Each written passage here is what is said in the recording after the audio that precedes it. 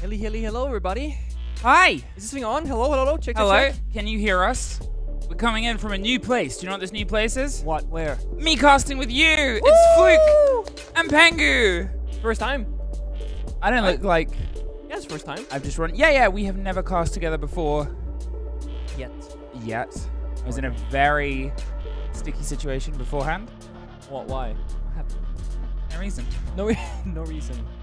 Something mysterious. Yeah. Yeah. Yeah.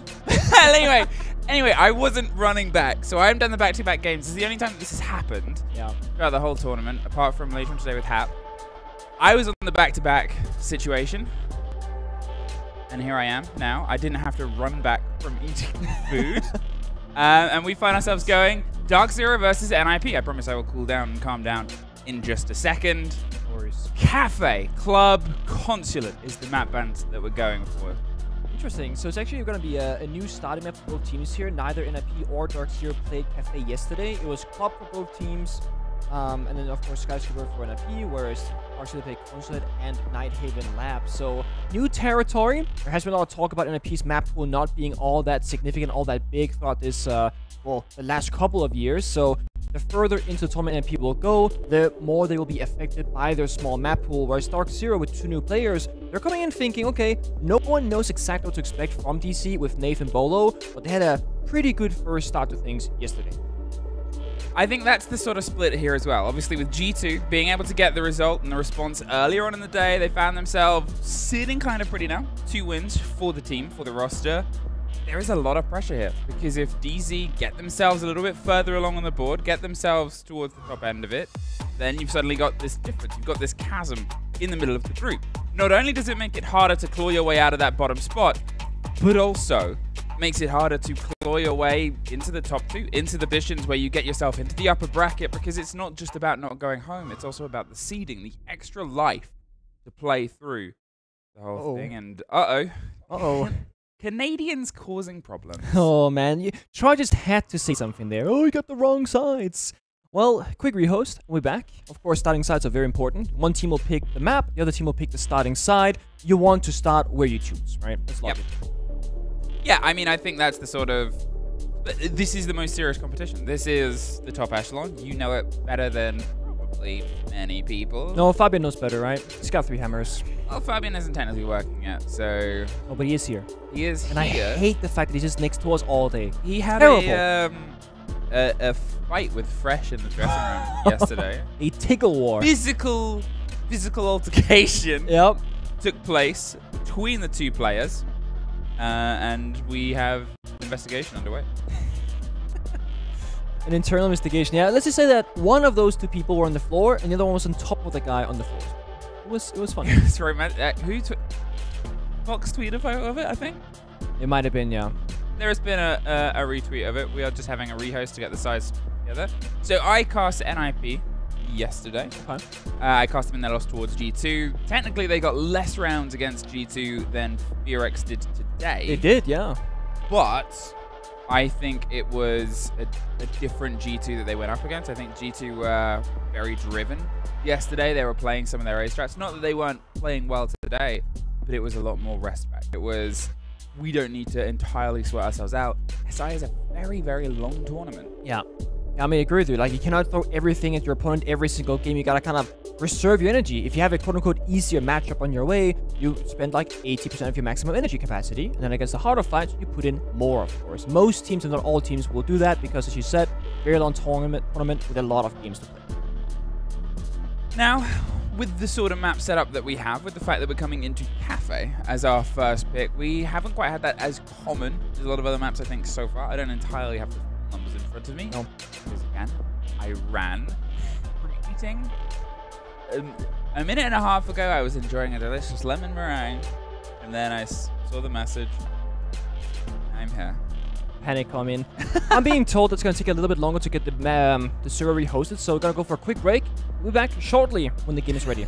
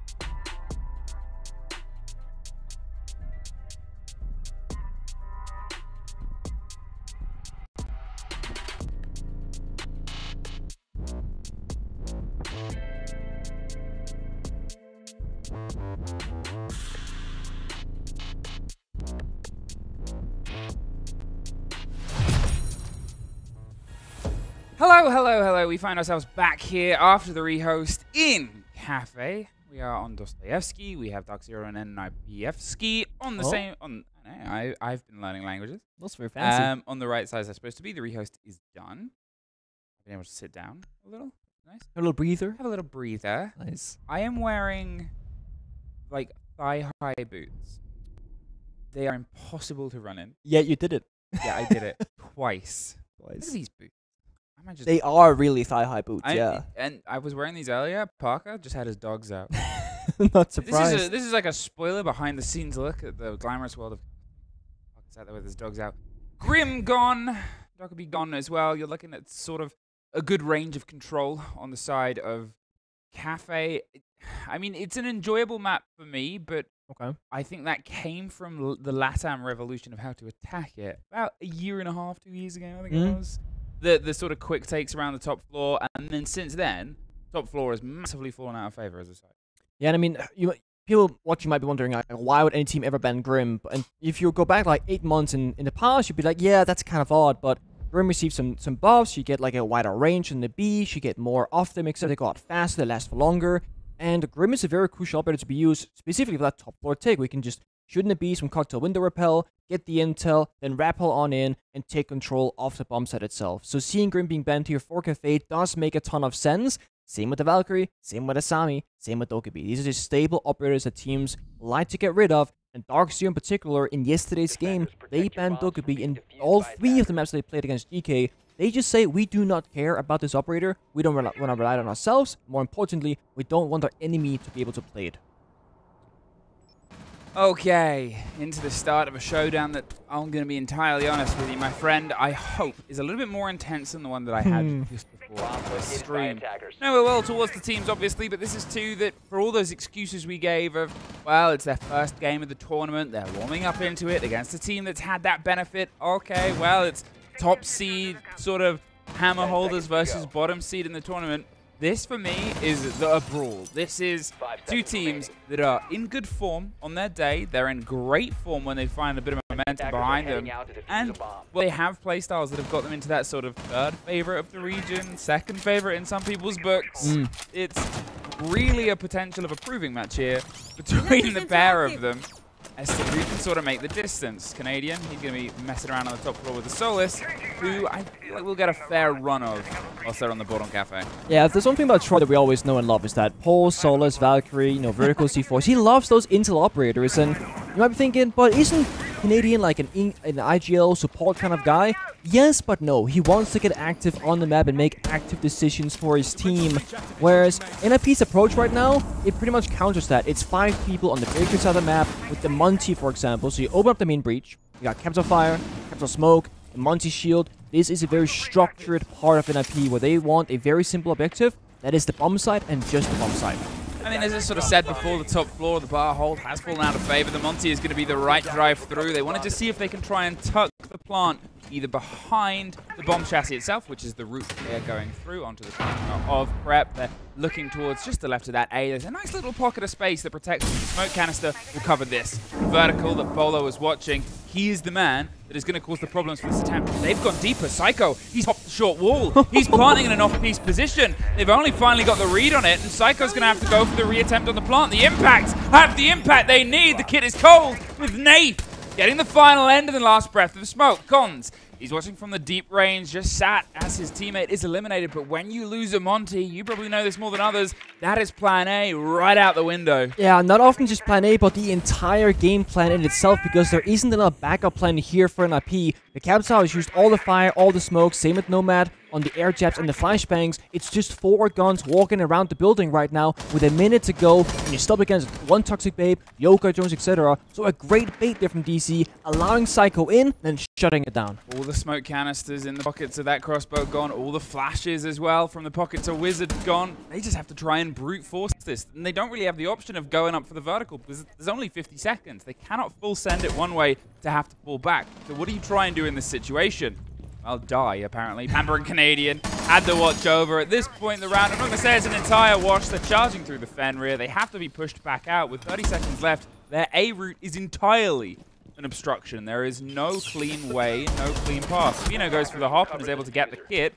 Let's see if he can just get a sneaky stick on. You assume the Solis will have a read sooner rather than Oh. later. Doesn't even need to. Nafe pickup that has really stepped into the surprising role of, I think, top KD on the team after the series yesterday. Gets his second for the first round. Kondz has as many hit points as he does seconds left. And, well, it doesn't last much longer. A flawless opening. I mean, that's good. And with right now, like today's style of siege, a lot of people go, oh, it's the TDM meta, people go for kills, etc. But that was an outright beautiful round of simple mechanics like utility and intel. And just one thing in IP that didn't really check that box for was the Echo. Didn't play the IQ, probably didn't spot the Echo in the drone phase either. So they thought, you know what, the only thing that can stop us is the Toxic Babes from Nafe on Smoke. If we go fast enough, the bump will go down, maybe Monty will die, but we have a very strong post from essentially outside the building. But guess what? There was an Echo to shut down the plant. That bought enough time for DC and for Nafe to get the utility down, the impact grenades from above from Canadian, and the Toxic Babes from Nafe himself. And the second that Monty dies, realistically, that round is over. Of course, you can clutch, you can get some great shots, etc. Maybe Doxio make a huge mistake somewhere, but realistically, it is technically over in that scenario. That's 1-0 now for Dark Zero. They'll just go through the motion here. They can play all four bomb sites. Bakery, mining reading, library reading, and of course the top floor. The only question is, which one will it go to in what dire in what order rather? Also, what operators will they bring? The mirror is open. The pulse, as I mentioned earlier, loved by Canadian. But Beaulo actually hitting onto Doc here in the second round, like a good old rank player that he is. Beaulo, I want to see, obviously, more from. I think you always do. He could go 10 Yeah. 0, and you're like, I want to see more. Because it's just exciting to watch. It, it, it's a name that's synonymous with the game. It's a name where a lot of people got into our esports side because mm. of oh, Beaulo, because of his sort of legacy as the content creator, his legacy with making things entertaining to watch, and spinning his mouse, and being fed bananas by Parker. All of these things, you would mm. say, are, are, are parts of the legacy Crucial, yeah. crucial to the story. Here he is on the top floor, and Cafe as a map as well. You've, you've sort of got that vertical structure. It was something NIP thought a bit before. They try and rotate around here, but it seems they want to go for a little bit of a bottom up. The rappel onto the windows there, onto dining. They've got the player on the back end of Christmas door here, wanting to put some pressure onto Canadian, but without the control of above, you can't quite get that entrance. So Psycho, as I said, bottom to top. He's about to meet a friend, Oh, and he had no idea. that is not a good start. I mean, you walk up a staircase, no drone, no intel, just assuming that things are clear when they're not. That's not what you want to see. And speaking of Beaulo, TSM, back when he was in the roster before they kind of disappeared from the NAL, they were a phenomenal, phenomenal cafe team. So getting someone like Beaulo onto DC who could implement the TSM style strats maybe to DC to help them even further is only an upgrade. And things get worse for NIP as Canadian finds Kondz as well. I mean, again, two great lockouts here. You have to look at the setup that NIP is going for. They're, they're trying to find these plays in these pocket positions, but so far, this is generally turning into the Dark Zero system. They've been able to sort of just hold. There's no one forcing DZ players out of the places they're playing. Nafe, he's still touched. He gets a second! No! Come on. on! That really shouldn't be happening. There was just no sort of read on it, no call. You're wondering where this intel's going. You've obviously got the E1Ds, but you've also got pockets full of drones at the start of a round. Wizard is able to do some damage and get himself closer towards the site itself. But you know, three versus one with a C4, a couple of impacts, and obviously a Solis gadget where they could just go to the vertical at this point and keep some control over this.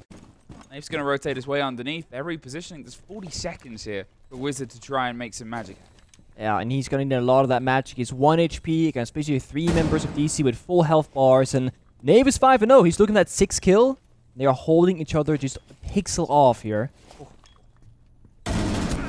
He knew, but at least he knew this time. Nafe Yeah. got two kills on uh, another stair set from them just not knowing, and then was able to put it together. It's all stair kills. All stair kills. He's a stairs player. That is a long boy. What is what is that that NJR has? I'm not entirely sure. It- It's some sort of. Can we go to a wide camera? What is Oh, that? what is. Is that a monkey thing? I think so. But a bit of very baboon. long neck. I, I mean, I don't know. There's a, there's a couple of Nissa toys as well. They're emotional. They're sentimental. Yeah, This is, must sen- be. this, this is your sentimental playing monkey. with yeah, a there's the comfy monkey that he has yeah, it's him. comfy. I like that. Um, Man, I'm a bit worried for NIP here. Like, rigid attacks, and I think a big critique that analysts that we'll talk about right now is how you have like the new style of siege, the quote-unquote split theory, and the old style, which is just called old style for some reason.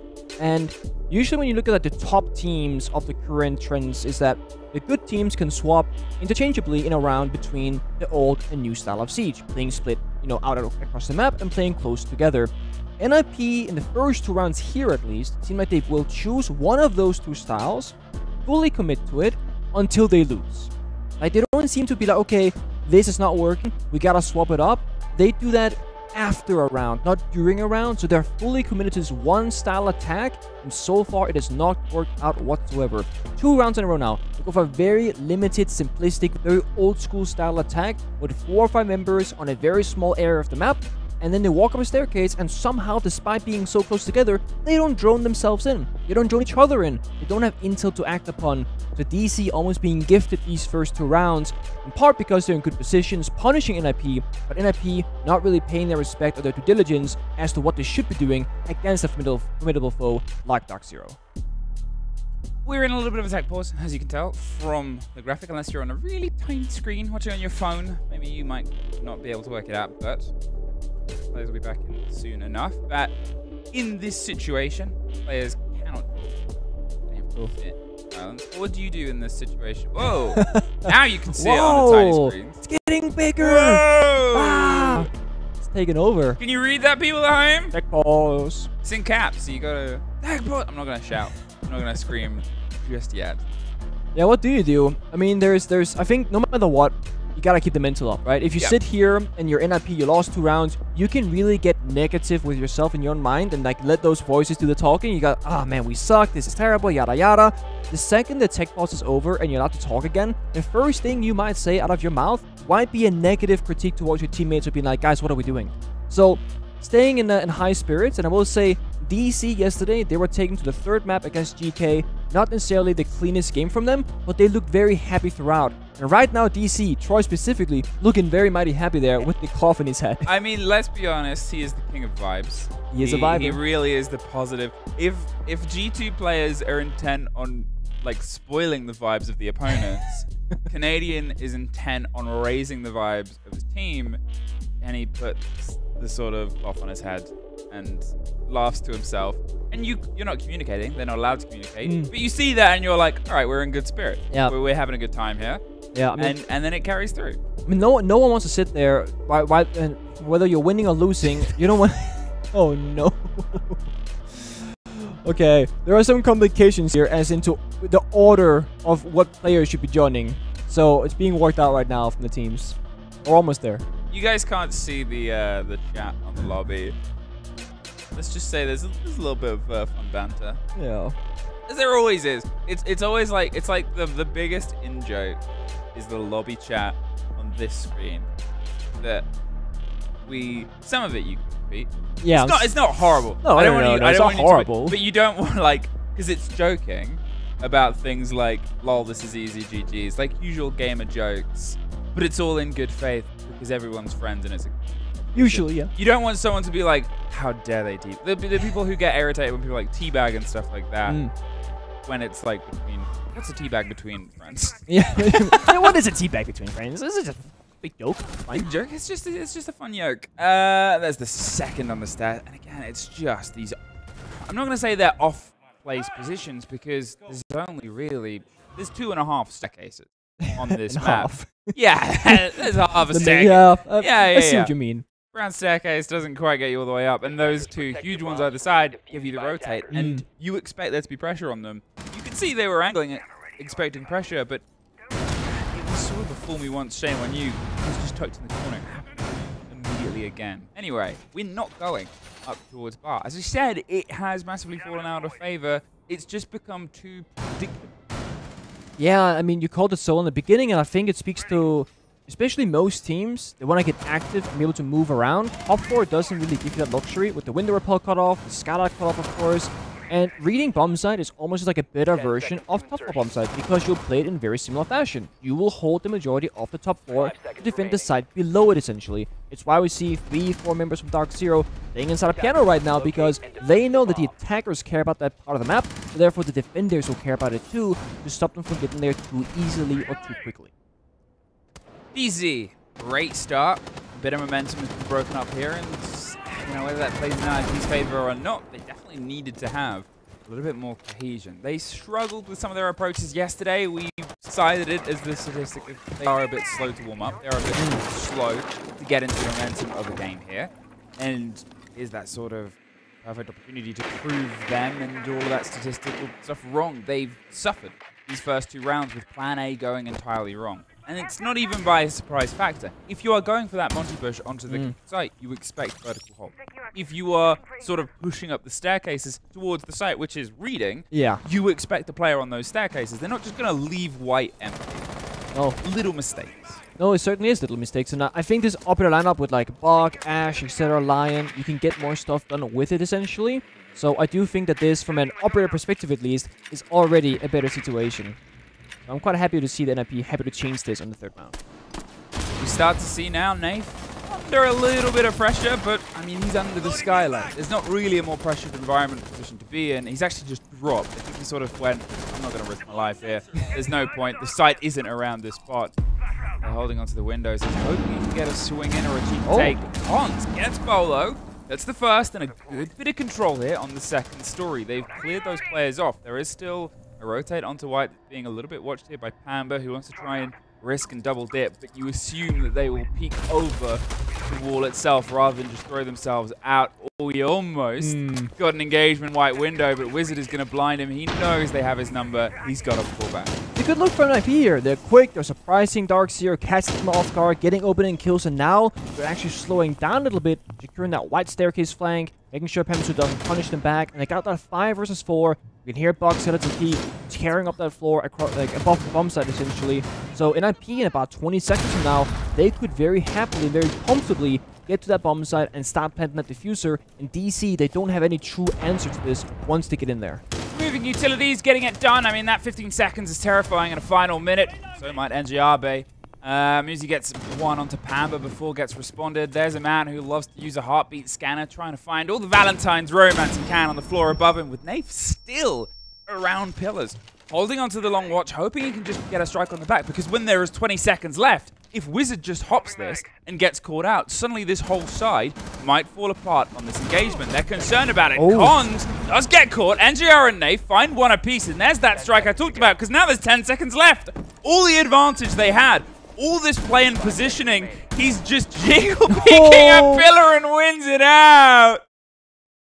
And I mean, Nafe has been given an opportunity here that not a lot of players get to play in a different region for a major team, the biggest tournament no less. Yep. He is making full use of this opportunity. That he is. He's had a phenomenal day one and so far a phenomenal start to day two. And I mean, he's gonna hate the fact that we had a rehost. He was like six and zero oh before that. He's seven and zero oh now, I believe. So he's doing great for himself. Or eight and zero oh now, I should say. And um, NIP when they're up against G2 yesterday, they often found themselves like a man advantage, early kill. You're thinking, okay, they should win this round. And what we just witnessed is the exact same scenario. They get opening kill, they get very control. It looked like they could just plant, and all of a sudden they lose. They lose one member to a gun kill, one member to C4. They don't fully clear pillar, they don't draw up Nafe in that corner, for example. And just like that, it falls apart. So whenever NIP did do well in a round, they get clutched against or they just don't hold a tight enough grip on their opponent and things they just slip away straight out of their hands. It's the old style of Siege, baby. It's coming back to mm. haunt a lot of teams, and this is one of the things in a flag that got sort of waved by, and I regret to give him credit to this, Fabian. In our, ah. yeah, I know, in our ride over towards the hotel was about how they struggle with new style of siege. From what is a region that has been very, very good, not the best at mastering both disciplines, of the old style, the structure, the setup, the take, towards the new style of prod and split theory and see where you can find this opportunity to strike, they cannot quite get the momentum going. When something gets pulled away from them, mm. the rest of the round falls. Whether it happens at a minute and a half left or 30 seconds left, well, that's the sort of problem here. Canadian, out and about. Old man and his four friends having a good time in Siege. Yep. I mean, that's important. Having a good time is very important, right? You gotta like, have fun. He's the dad that drives the minivan of the team to, like, get to the... Go to like, Disneyland or something like that, yeah, you know? Let's go, kids! He's taking the kids to Disneyland. Canadian, he's gone for the hop out. He's gone for the chase. and they let him... Okay, Okay. There is Wizard. Had the angle on the swing. The, I mean, it was Psycho. Just didn't want to sit around and have the old man brawl. I respect that effort, you know? Canadian getting very active. Oh, the Panbazou not again. Okay, he's gonna be fine. Unlike Canadian, it will be a 5v4. No more members from DC will fall on the roam. For now, we'll see how it starts to boil down. They obviously lost players that were jumping out. And I guess it's the perfect highlight of the old style of Siege, if you're paying enough attention, is set up for that. You can catch these players. These surprise strikes aren't so surprising if it's well rehearsed, if it's played before there's not really a huge amount of jumps and runouts you can do. There is the one we saw Canadian do. Mm. There's almost half of the one that we saw Pamba do, where you don't always get somebody throwing themselves out of the pillar window, but if it happens, it happens, and you have the double door already open to get yourself back in. Yep. That's about it outside of the sort of whiskey window way. Here, though, enough time to get the vertical control. They've removed one player, but it's always worth remembering they've still got to do the structural work on a site where they could not get the kit anywhere comfortable. Yeah, and I mean, again, we gotta look at the key operators here. Osa from Collins with the Diffuser in hand as well is gonna be a clear indicator that Collins will drop down the hatch most likely to the backside and try and get into a plant position with the Talon Shield protecting his body. So another question is, what do they need? Well, they gotta clear out Beaulo and NJR essentially near the side here. At the very least, NJR. Because he's playing right below the hat, C4 in hand, pops it, does a bit of damage, but does not confirm the kill onto Psycho or anybody else. Doing his best to dip, dive, and duck, but as the bullets start to ricochet across the side of the arms, it's only so tight you can keep your elbows oh. in here. Oh. Pino has the range, but Kondz has the close firefight, and Yossa has that set. They're just going for a little bit more safety. They maybe go a little bit too wide. They're trying to bait the utility and go for the plant on the back end. Bit of cover and a bit of a fight back is locked down. Pamba and Nafe find one apiece in the trade, but a post-plant Oh! situation isn't found! There's suddenly 10 seconds. It's a two versus two, and they're scrambling, but they're just being knocked aside. A huge retake that emphasizes that awareness we've talked about. DZ are able to find a round out of absolutely nothing, and NIP will be kicking themselves over that. Happened again. It looked like they shoulda, coulda, woulda won the round, but they didn't. And this is a new DarkZero kind of era, if you will, for them. They have had a very rigid, very similar style team for a long time. And that is not a criticism because it did work. They won a major, they made it to other majors, and domestically always made top four. But with Nafe and with Beaulo, they are more fluid, you should say. They take more risks, and one thing they've been really excellent at so far this this invitationals is retaking. When they don't have any other options, they don't brute force through the side fighting vertical angles. They will run up a staircase, retake the floor above, and it works so often for them. I feel kind of bad for Napi. They got Nomad, you know, Muzi is playing that operator. They have flank drones, and they had five members alive. There shouldn't be a gap where DarkZero found one, so this does come from NIP making some mistakes. Four in a row here for DZ and NIP. Obviously, it's a game that's par for the course. They haven't taken their tech timeout. It might be because the game has been so broken up by Yep. tech timeouts that they're feeling, well, we haven't even gotten to our rhythm yet. So let's not break it up. Let's not stop ourselves from finding some momentum. Getting two on the attack on Cafe the end of the world. It's their map as well. So you're sort of thinking, okay, well, maybe there's just they love attack. They, they, Yeah. they hate defense on this map, but they are flawlessing their attack. You never really know the team's decision here. Maybe they just think that they've got DarkZero's sort of number on stopping their attacks here. It's a whole can of worms to open, and the first is wiggling their way up towards the top floor. They're going to see if they can try and get a more classical take rather than push up the ground floor this time. Go to the top, remove the bodies up here, and then crack their way down. Yeah, that is the uh, the good old standard style here. The top down clears and the thing is with the Azami being banned off, it's hard to defend the piano portion of the map itself. So this will give NIP a slight advantage for clearing up the top floor. And it's why they're making such quick progress right now. But as I say that, Jason, he's there. Beaulo shuts down Psycho immediately on the entry. Beaulo inspired by Nafe, I'm assuming, top fragger. Uh, you Prodigy bring their way in. There is someone behind you, man. Turn around. Please, please turn around. Didn't turn around. Muzi able to get the head of Panbazou, Canadian. They are going to get one more for the road. He's really leading, leading his sons around. I still love that image. Come on, Nafe, come, Come on. on, Dave! Dave, come on, help! Uh, the C4 doesn't quite pop it, um, as the player has otherwise moved their way away. You're looking at what has been taken out in the approach here of the attackers. There's no Iana, there's no Finka, which is in this lineup probably your two prongs. But you do still have Muzi. He got one for this. He is a player that can somehow, regardless of what role he's on, find a couple of bodies in a thread hop round the rotation. They have some vertical control, but we've seen a retake happen before. It's something that Dark Zero have in their pockets as Nafe drifts lower and lower. He might be about to find a fight with a lion. How much awareness do they have? Not enough, but the blind! Perfectly placed. He's going in with the French revolver to finish him, and he dropped. Ooh la la. Ooh la la, indeed. Nafe on the white staircase cannot be removed from that position ever by NIP. And DZ, they're comfortable. They're all sitting in corners. They got their cozy comfy spots. They know they got this locked down. Dropping their way down towards the reading door. 45 seconds. They still have time. Two versus two is tough. It's not unwinnable. It never really is in this game. We've seen clutches before. There was almost the trade onto the second there, but Muzi is down, leaving just Kondz. He can try and get the pick back up. How confident is he that he's safe to do it? Either way, it's wasting a little bit more time. Just a sliver of damage, Nafe. Pulls his way back round. The blind and the pressure. They've got to try and close down one of these fights. They have to see if they can push this to an even advantage because one of them's about to be face down. In fact, both are Nathan Canadian. Find the cement on the last two bodies. Five rounds in a row. Oh man, you know, I did these... uh, fantasy league with Jesse and some other people. Yeah. And I wanted Nafe really badly, and right before it was my turn, someone took him, and I regret that so. I mean, he's playing out of his mind right now in the first two days. It's unreal. It is unreal.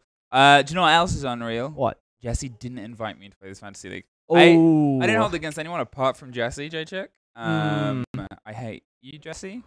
I don't really. But Because do you did you ever play in Project Prisma? The I, I, old one I don't believe so, no. done by Candor. No. Who is the great community cards. I saw the cards. I didn't partake. was in my day a Project Prisma champion, which was like the first fantasy league. I had thinking nail on the points, was raking them in on that flank, which I knew what I was doing. And uh, Jesse was just scared. Let's be honest, Jesse. For your uh, fantasy nerd stuff. Whoever wins the your season, I'm coming for you next season. Oh, okay. Next season, fantasy I think that's season. fair. Yeah. different like fantasy champions in different leagues get and then they go together. against each other. They Yeah. Need to, they need to go against each other. What do NIP need to go against? Well, not being flawless at this point. There has been at least one, I think a 7-0 was against Falcons Yep. yesterday. Obviously, they were playing with a lot of swapping players, which are then swapping again. Again, back to their core. Yeah. Um, but we have had a flawless, and NIP do not want to be bad end. Because as I said about this group before, these are two teams that are, in honesty, fighting for that second, third split. There is the chance of them being lower bracket or upper bracket. It's probably going to be then in those positions filled out. This is going to be, I think, a very important game when it comes to the seeding of who's at the top and who's at the bottom of that mid pack. No, certainly, but also like speaking to like confidence and the mental side of things. Even if an MP would make it like through the group, so to speak, you're not gonna have the most confidence in yourself if you go like struggling here, getting flawless, etc. Unless they really start showing up in the coming days. Whereas DarkZero with two new players, you know, you can have high expectations, low expectations. It doesn't really matter. The reality is DZ they look good and they look better than previously. So for them, they have this new system. It's clearly working. They'll be very happy with that and uh, spoke to Canadian and uh, Beaulo. They said they've been scrimming a ton. And like, what team hasn't, right? It's Invitationals, the biggest thing of the year. But they care, they know this matters, and they really believe in these two new players and the new system, and it's paying off so far. I mean, the new system is paying dividends. It was a quite the sort of thrown around where on their old system it'll win you maps, not win you tournaments. Them changing towards this, them finding a drive, it's exciting to watch. It's exciting to see old teams and old players find new tricks because there's always the possibility of getting a little bit. There's though that great documentary that was done over the course of Atlanta, the quote of Canadian at the start of it when he's pumping iron in the gym, which I'm wondering whose idea that was, probably his. Be like, I will only do this if we do it when I'm like lifting weights. Uh, was that he is the best IGL and the most rewarded IGL of any Yeah. in the game. That's true. And being able to still be this deep into it and change things up proves a point there. Wiz does find Nafe. The Englishman is out of this NA versus Brazil showdown. And the rest of the Americans carry the flag for him. Ooh, that would have been Oh a my C4 and a half. Almost two team kills there as well. But yeah, it's a rare sight to see Nafe going down, especially like relatively early in the round. But NIP, they've been here before where things look really great for them and then things still fall apart. So now they gotta show us they can do it. They do have what it takes in these final 30 seconds. That's entirely it. There's 30 seconds left of the round. All they've been able to get is a little bit of a drop here onto Laundry. They're trying to turn it into a clean run towards the site itself. They've got the run, but they don't have the rotation of 2 versus 5. 20 seconds. That's the Warrior. 1 versus 4. There's the round, though. NIP stave off at least the death blow for now. They're able to get one lifeline for the second half of this map, but we really got to see why they wanted to come here now. Yeah, and that's important to men- that you mentioned it. The one lifeline. If you go 6-0, it's like okay, GG go next. You know, you make one mistake, it's over. Now they can do a little bit of fun stuff. If they want, they can risk one round. They still got one in the pocket, etc. But it is looking dire for them. They gotta a flawless, a perfect defensive side here. Meaning that DZ, they can clutch. And if you look at yesterday's game, DarkZero, they had multiple moments against GK where they did indeed clutch up. Beaulo had a 4k into a 3k, two rounds back to back. And while they did lose the map where he clutched on of Consulate, it was one of those moments where one player overtook the entire round. Kind of like Nafe has in the first round and the third round of this matchup as well. So NIP, they gotta play a tight ship here and really play this like perfectly. What will DZ bring as well? Because as you said, if you have the one lifeline, you can do fun things. If you have four, well, you can do a lot of fun things here. And this is a really good map. This is, again, something I cited before. It's an enjoyable map. I still always think it's one with a lot left to learn and play. Mm. It's always described as being a very intricate attacking map. It's one where you're, if you- if you're with the ranky stack, you got to make sure everyone's playing a game. You, Yeah. you can't just clubhouse your way through it. No, no sleepers. No sleepers. You got to have a full- a full-fledged stack And it, it's the same because it, it keeps that development going in terms of the attack. Here, you look at this lineup on the left, Ying, the Blitz in the bucket of Canadian, which, all right, cool. Yeah. I want to see this. Yeah, there, Uh, there's fun stuff and there's trolling, and Canadian Blitz is like low-key a troll situation, but I'm happy to see him Yeah. succeed here. I mean, give me a Canadian Blitz play. Give me, give me a scream up the stairs as an entry roll. Ah, through. What's really going to happen, I think, is the hop through on the window, the turtle shell on the back, and the attempt on the plant just on the inside. They have the Fenrir, which means that the crossover is going to be a little bit awkward from Wizard, but that won't stop you planting. This could work. Wizard's like entirely alone in the first four, basically. If if Blitz sends it, if Project goes for it, this could actually work. There it is. There's the play. Oh! oh, no! Pamba goes down as well. Wizard does get blinded. They're just trying to get the finish onto the end of him. I mean, if, That's my bad. if they'd have waited a split second later, they might have had a better chance. But at the same time, the problem was that Wizard finally getting the rest of the kill. He already had the angle lined up. He was watching for the window. NJR does find Muzi and does at least get a body out of it. But we talked about it in the very first round of this map. When you lose the shield, you lose plan A. Yep. Same thing here, even if it was a silly plan. Yeah, and Ying falls as the second member as well. And I gotta say, the downside of playing Lion or Ying is that when you use that Lion scan or the Candela goes out, it gives your enemy like a slight like forewarning that something's about to go down. You Yep. don't know what it is, but you're gonna be on your toes. Wizard started pre-firing that window because of the Candela and the Lion scan. And unfortunately for DZ, Canadian got hit by the very first bullet straight in the dome. Beaulo, let's see what you can do as you will almost get into the fight. Just on the swing on the No pulls back into reading. Is going to sit and wait. They have the support structure of two other players that might not know that they're entirely on drone, but when you have a man disadvantage, well, you've got to leave that to the dead and see if you can try and make more exchanges. Talking of, Psycho's gone for a deep exchange all the way underneath the rotation happening on Brown just to his right-hand side, which he might not know about Nafe's new position, but Nafe has no idea about Psycho too. So suddenly, there's this big threat that can come up from behind. Though, he's gone by surprise, gets an engagement out of him. Fonz is able to win it. Drop on the top. There it is now the one versus four, and JR has at least the first engagement. The second is a bit of a shake. He's not entirely sure where he's being shot from because it's multiple places. And there's that deep rotate from Psycho coming out. But that was exactly one of those rounds where you try something that might not work because you can afford to lose the round if it doesn't. So if there ever was a time to do it, that would be the round. And also, let's say it had worked, you're catching NIP off guard tremendously, and they're gonna have to be worried about a potential rush in the future as well. So now DZ, knowing Troy at least, they will not go for that kind of play probably ever again in this particular matchup because they've done it. It didn't work. They are ready for it. They expect it, etc. You see it right here kind of scammed there, I gotta say, for Troy. You know, you, you think the shield will cover the head, but not always. That's the Blitz life. It's Blitz life, baby. Yeah, And it's a tough one. I mean, there is nothing that is more sticky at times than the interaction between jumping over things in Yeah. this game and shields especially of just what is protected and just what isn't. It was the right crosshair placement from Wizard. As Yeah. you said, he was the only one on the site itself, but he had practiced exactly the one window where if they get this, it's done. Or other doors, if they put the pressure onto fireplace side, you'll have a little bit more rotate from the other swing. You'll have the dining window, will give you a little bit more support from, you know, uh, reading or white stairs, depending on the hold. There is the danger. Here, again, you get in the top heavy holds. We go over towards the other mid-floor site. Not quite going for the top of the bottom as of yet. Psycho getting these deep angles that you can sort of play and rotate around on. Castles, I, uh, you know, it's a curious sort of setup here because they've gone heavy in the core of what is just the vertical control. Yeah, and bit surprising they opt for this like Castle or Aruni kind of very rotative system. You'd think that with mirror open, you just like slap a mirror window on a wall, etc. You hold the deep lines of sight, but there has been a change, in case you guys weren't aware, to Ash's breaching charges and Kali's lance, where they will now shatter the windows of the mirror, and perhaps that change has been enough for some teams to stop bringing the mirror any longer because it's so quote-unquote easy to counterplay. I mean, Because otherwise, I don't see why you wouldn't play it. Yeah, it's such a nerf as well. It's obviously something that once upon a time it could happen accidentally, and everyone was like, whoa, whoa, whoa, whoa, whoa. Yeah, what, what's This going on is, here? this is horrible, broken. and now Ubisoft saw that and went, actually, That's we found neat. a way to.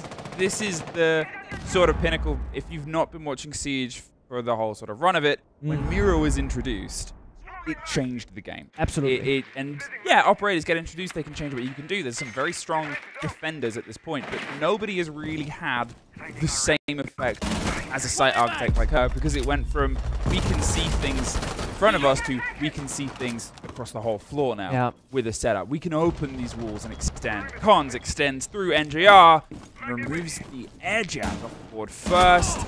Oh, a quick pick back up by Pamba to make sure they have some hold down. But with the Lion as well, it's a big appreciation for the fear of the roam. Yeah, I mean, the one good thing here is that that's the only C4 on the board for the defense. So now, vertically speaking, you don't have to worry about so many things, but the bomb side is downstairs. How crucial would that C4 be? It's hard to tell. NIP playing... Okay, that's unfortunate. It's hard to hit drones, it's hard okay? to hit drones. Much harder than players. The boogie drones of Beaulo are opening up the castles on the second story above, and now he's just holding on to the long range. What they're trying to do here is clear a pocket of space. The kit has made its way through the train room towards just the tuck onto dining, but if they have that verticality, well, they'll just kill you. So what do you do? You can either try and take it entirely, kill everyone that's up there, or just get yourself a little window of space. Get yourself a corner that you can tuck for and make things uncomfortable for them. And draw the attention elsewhere. With Pamba holding tucked onto the slightly open pillar's wall, if he swings this and gets an engagement, there might be a call they're going for a fight here. He's able to get that. The E1D comes out. Beaulo up on the back stairs has gone for a heavy rotate. Do they know? They don't know. There goes Psycho as Beaulo gets it, but there's 15 seconds. We've seen an IP losing these positions before Canadian goes deep all the way round, but with the rotate on the back from Muzi, does he know just how close the fight is? The first is with Beaulo, and he's able to win it out, but in a post-plant situation, three versus two. Now, they have to see if they can try and go for the retake. They drop down. Going for the direct line towards the corridor, get the control of 90. There goes both of them, though. DZ with a very solid structure on that approach. Get themselves to map point. It was a great adaptation, right? You, you see Panbazou get the kill on towards the library plane. You think, okay, they're going to go through the breach plan library, but no, that's purely a distraction. So Pamba goes to that kill. Meanwhile, two members inside a train with diffuser, they will distract the person on the white staircase, the uh, the um the Aruni rather, while Beaulo flanks off from the basement. That was like a four-step plan that DZ had full control over, and I have to believe I want to believe when you have someone like Nafe and Canadian together who can both call excellently, that's when you can build up so many different pieces at the same time. Oh, I love it. I love seeing this from DZ. As I said, there is a lot about this game that you enjoy, but the the reason this game is different from every other game is its ability to play like chess. Its Yeah. ability to have tactics change from a team, from a whole meta, as the development of new operators, as the development of new gadgets, or just changes to existing gadgets, but also people having good ideas. Yeah. Because it's all soft at the end of the day. It's all adaptable and changeable, and it's all opportunities. You have one fight on this map against another team, it can be an entirely different game. And to see teams still this late on in their run, still be, what, however many SIs and tournaments Yeah. Troy has played at, bringing new levels to his own game. I mean, this is the man that never stops wanting to improve. No, that it really it, it, it is that rather. And the reason why he claims that he is, or says that he is the best IGL ever is because he literally is. He's played for three different, like, core orc slash rosters, winning with all those different people. And now in DZ alone, gone through so many iterations of different players, making things work, qualifying for majors, etc. And this man is, you know, he's no longer 18, right? He's up there. He's played for a very long time. He's, uh, he's no longer 28. He's no longer 38. No, whoop, right? But it's like, how do you have the motivation? That's just you want to improve, you want to learn, you are hungry for self-improvement. That's gotta be the angle here for Troy. NIP now still have everything ahead of them. Obviously, also still attack timeout. As far as I'm aware, I'm Yeah. trying to remember back, but I have everything marked as tech. So unless it sort of happened alongside the same side, they're going to see if they can just try and play this one out and get to the end of it. Wizard want to creep on past the white window and the corridor, but nobody is really putting the pressure on it as of yet. Instead, it's the focus on what needs to be done first. The spinning blue night light in Canadians' eyes. That's just that just comes with age. I like that. Uh, as they're gonna just get the quick pop onto the wall, gives them the rotate. A pretty standard approach here. The mute jammer is there, more to delay than destroy. Psycho, however, is hmm. destroyed. NJR gets the Solis, and well, when a Solis is gone from underneath the air jab, it was just a fight down from the bottom of garage. Ran out, it seems like. A bit risky, but here we go. Pamba's a party time, baby. He's inside the bomb side. Yeah, the execute's coming right through. Pamba screams all the way across. Muzi's holding on to 90, and they're able to hold on quite well there. Pamba keeps rocking and rolling, gets the first fight onto Lumber, sees the second suddenly, and luckily he's got an LMG. As long as that player was alive, he was giving calls. They're swinging either side, though. Oh. He's stuck in the oh. middle of three players. The swing comes round and an execution happens either side. NIP, great response built on the back of those first two bodies. However, as you said, DZ, they have rounds to play with. They went yeah. for a quick strike. Twice of the three hasn't worked either time. The structure might be returning. I was going to say, that's the exact same kind of take as the very first round, where it wasn't necessarily a strategically sound plan. It's very high risk, high kind of reward. And if it works, it works, right? It works, it works. And if it doesn't, then you got rounds to play with. So it's not the end of the world in that scenario, but yeah, you're keeping NIP on their toes, essentially. Well, the trades have to stop here. NIP have to do what they haven't been able to do this whole map, which is win two rounds in a row. Now, obviously, yesterday, came off the back of the last few maps dropped against G2. Here, I mean, they're still probably confident they'll get out of groups, but it's way beyond that. Because you know that, know, worst case scenario, for Team B2, you might have to beat them again. Yeah. It's a long, long, long, long road to the top. It's a long, long, long road that G2 walked last time because, well, most of it was a lower bracket well, run. Yeah, pretty much all of it, yeah. It's not over till it's over, but you want to try and get yourself in the sort of mix. You want to make statements in your game of being like, all right, you got us this time. Mm. We're going to get revenge. Yeah, it's a good point. I mean, NIP, you know, they can all, you can always, you know, pull the uh, the Gigabrain G2 strat. We're saving strats, right? Saving strats. We're saving strats. Saved. And then it's like, yeah, yeah, yeah. But then, like, at some point, like, late in the tournament, you just, like, flip a switch and you are crazy most teams are not going to do that, no. right? It's not realistic. And half the time G2 pretends that they're saving strats. They aren't either. I can speak from experience. We didn't always save strats. But people believe it. Yeah. It was just a word. Like sometimes we Spoiler did. alert. yeah. I'm sorry, guys. We weren't that good. Sometimes we did, in fact, just suck. You know? It happens. Everybody has bad days. I like that as the like the dynasty. Sometimes we suck.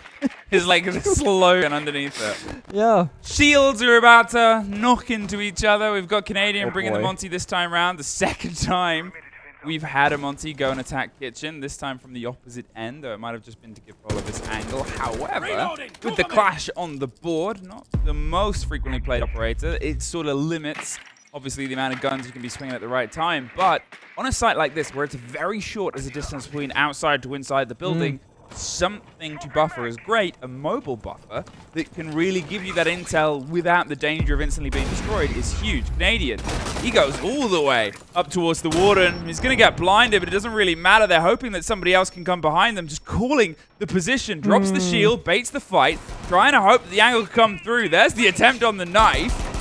They're just spraying oh, through boy. the soft suffering, but the clash is keeping the player at bay. Nobody can come in to support them, just holding them in the corner. Canadian's got the kit. If he goes uh -oh. down, and this kid is just sat there, well, he's blind and Pamba oh. finally finds moves. He swings around, the C4 comes out. Wizard somehow pulls the rabbit out of the hat and then drops two people in the same breath. That really should have been the kill there onto the Warden. The hesitation on the pop of the C4 baited the player in towards the moment, and NJR ah, just sat watching and waiting from the range here. How long can Wizard survive? Because already it's probably about a minute longer than it should have been. Yeah, absolutely. I mean, where's the backup here? Where's the help for Troy Canadian? He's sitting there or standing where they're looking at his opponent saying, guys, kill this player. Like, he's just standing there. And NJR is still holding that same angle. Nafe rotating over. Beaulo died behind Troy just previously. This entire round got won just by one player, and that was Wizard. The smoke goes on the clash. NJR finally gets Wizard, but I mean, he has played a blinder here whilst not being blind with the glasses. They still have a clash to get through. Even though they've got to get the kit down, they have one of the most troublesome operators ahead of them and not really the utility to get rid of it. So at this point, it's just going to have to be a bait on the swing, a double push, or just see if you can strong arm yourself towards the opposite end. And That's what they've gone for. NJR hops in towards the bakery. Nafe tries to go into the larger bakery via prep, but in the first fight is his to take. The second is suddenly oh. there as well. Oh! Can't quite get it. He's out of time, but oh my word, that was close. Imagine he hits that, right? What if a no ending that would have been for him and DarkZero? And NIP, you know, you're sitting there, guys, we got this. Two seconds to just stay alive. Bang, bang. Oh, please do not die, please. And Clash had the gun out as well. Could have had the shield, but no. I mean, it was It's chaos. millimeters.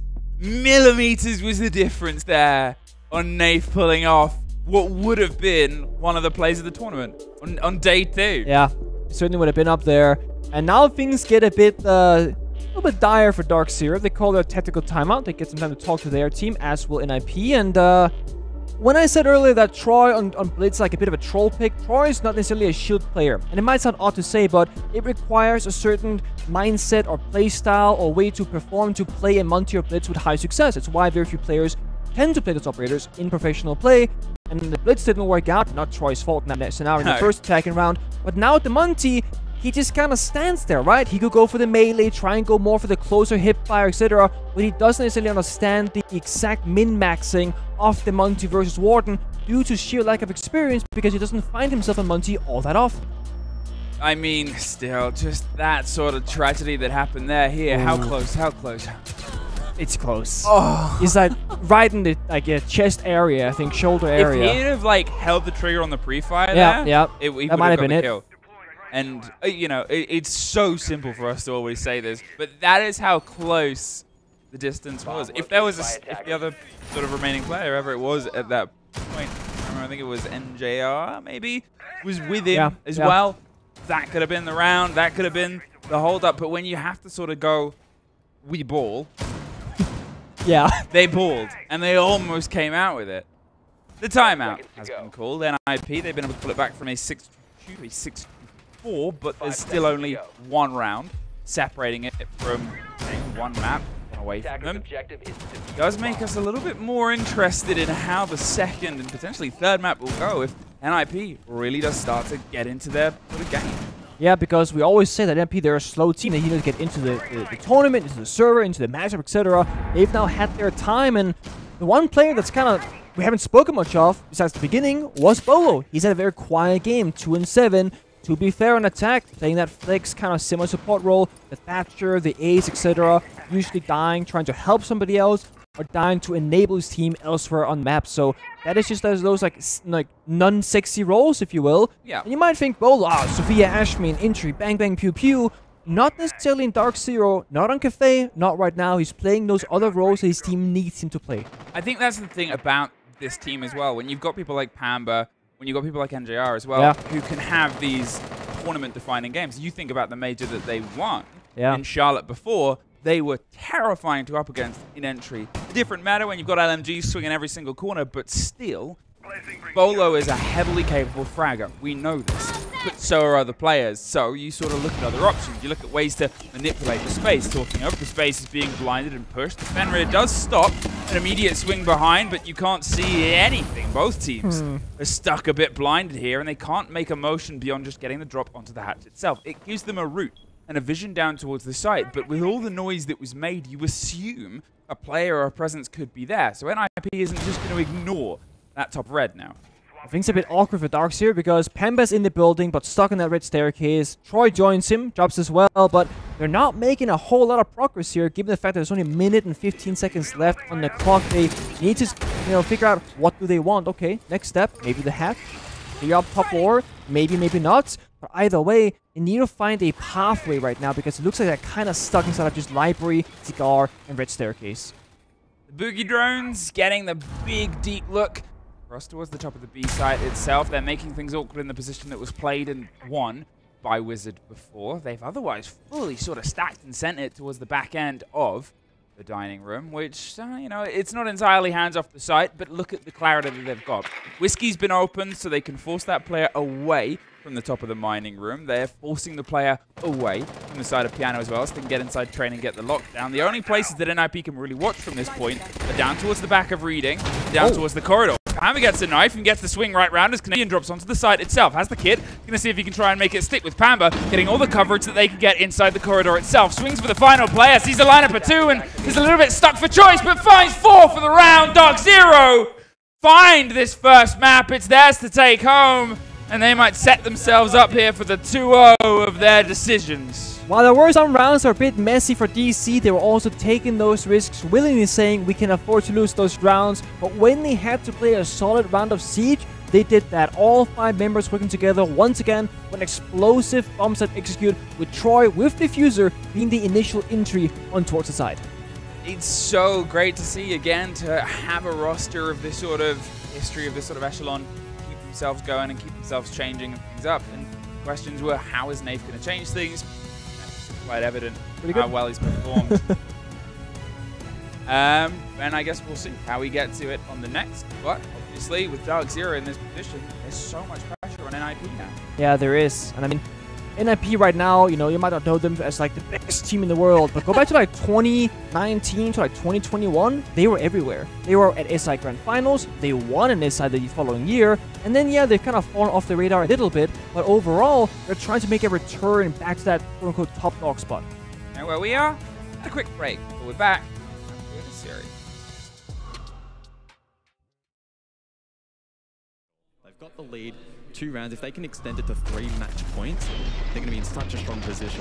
What are your thoughts on this jump out? I mean, typically, again, as I said, you go for that kind of jump out, you're never really, at least statistically, making it back in. I don't think it matters. I think dislodging that rappel is really important because you know, obviously, like I mentioned, right, if you're on the defense, if you're Wolves, you can't contest that rappel. You, there's no way of you getting into lobby with the four other attackers there. So the jump out there to dislodge it, not, not too bad. It's the other defenders, especially the two that got locked at front desk for me, yep. that made or, or ultimately broke the round there for Wolves. Yeah, one goes outside Pal, two locked out front desk, then you lose the battle top square. Suddenly you've just lost a lot of uh, map control, if you will. Bliss doing a really good job so far, 5-3, but don't count out the Wolves. Their map pit on the defense, a side that they've been very strong at so far, but one thing we didn't quite touch on is, you go back to the SSG game yesterday, Wolves actually banned out Bank, and then they go and pick it against Team Bliss. And I was actually speaking to Fresh over in the green room before this game and trying to figure out well, where is Bank really in their map pool, and it's it's around like that kind of third to fifth kind of preference map. And clearly right now, I, I think kind of highlighting it's not really perfected for them. Still time, though, to figure things out, especially on the defense and a team like Team that don't quite have that SI experience to be able to maybe close this one out cleanly.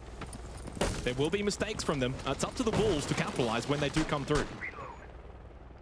And Bliss, again, showing that they have different uh, you know, abilities to try and unlock rounds here on the attack. Instead of going super fast pace this time, instead slowing things down in the face of the castle, they're going to try and contest that. They have the utility as well to deal with it. Sage with the Capitao bolts as well, so I'm intrigued to see where those have been utilized. Maybe trying to flush out a position like Janitor, for instance. I'm not too sure. Fisho on the Grim as well, which has seen a decent amount of play thus far at SI24 again, good at dislodging positions, but Bliss need to be ready and active to unlock those positions by getting other players in a in a place where they can find kills. And at the moment, that hasn't really been the case. Brendo has been able to just lurk in towards top square, but there hasn't been a stack of pressure on this defense. Wolves doing a good job. Three Nitro cells available for the Wolves. Haven't lost anyone yet. I think Mirror window is going to be a big factor as well, and obviously trying to keep this kind of top floor control. But at some point probably going to look to give this up. And in fact, they have. Originally, Janitor was being played, and then they make the rotate back downstairs. Minute and a half, they felt as if enough time had already been wasted. Obviously don't get any kills for it.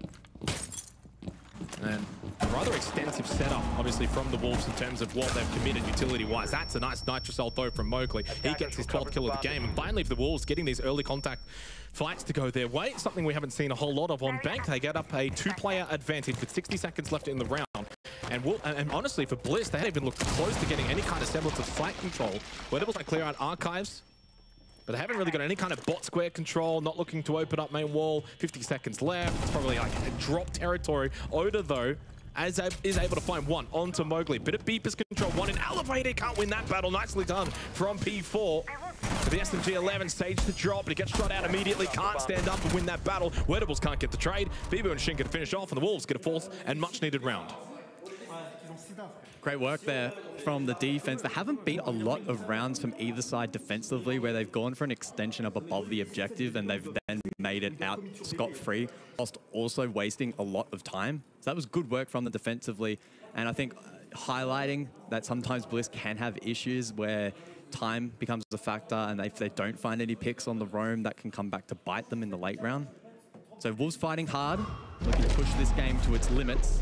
First pick there with the Nitro was clean. And from there able to just steam. Yeah, love the uh, setup as well. You know, the kind of pressure window, mirror inside janitor looking in towards CEO executive, and then the drop back down in towards staff and open area, just wasting time. It was like 90 seconds left in the round before Bliss were able to really even turn their attention over towards site itself and staff and open area. By that point, Wolves already well set up, able to contest a lot of those key positions. Obviously, a bit of frustration there for Fisher Guy being shown. 5-4 lead, though, still for Bliss. And while they've been good, it's all about getting the job done. We've, we've had enough of APAC being close, but not close enough. Need to try and get a lot of these APAC teams this tournament to get over the line, get Five some actual remaining. proper results. No more of this honourable loss nonsense. Time to get some wins. And while Bliss have obviously been able to do that against the Wolves back in Atlanta, if they can start with a win here and a best of three at SI, boy, the confidence boost that that could be for them. Wolves, I mean, they've already won a game. they've already won a series. 2-1 over SSG yesterday. So probably not as dependent on this. But this group could be thrown into disarray already. If Bliss find a way, and hypothetical, very early on here, SSG will have already won. They beat FaZe. Wolves have already won. Then Bliss would have already won. Suddenly FaZe would be like Yeah. fourth in the group. And we were sort of pitching Oh, no, never mind. They beat D+. plus. Yeah. Yeah. Not looking good for D+. plus. No. Good for Bliss, though, if they win this series. Long way to go, though. Into the 10th round, Wolves, I think, are going to be proving to be quite difficult to dislodge on the defense.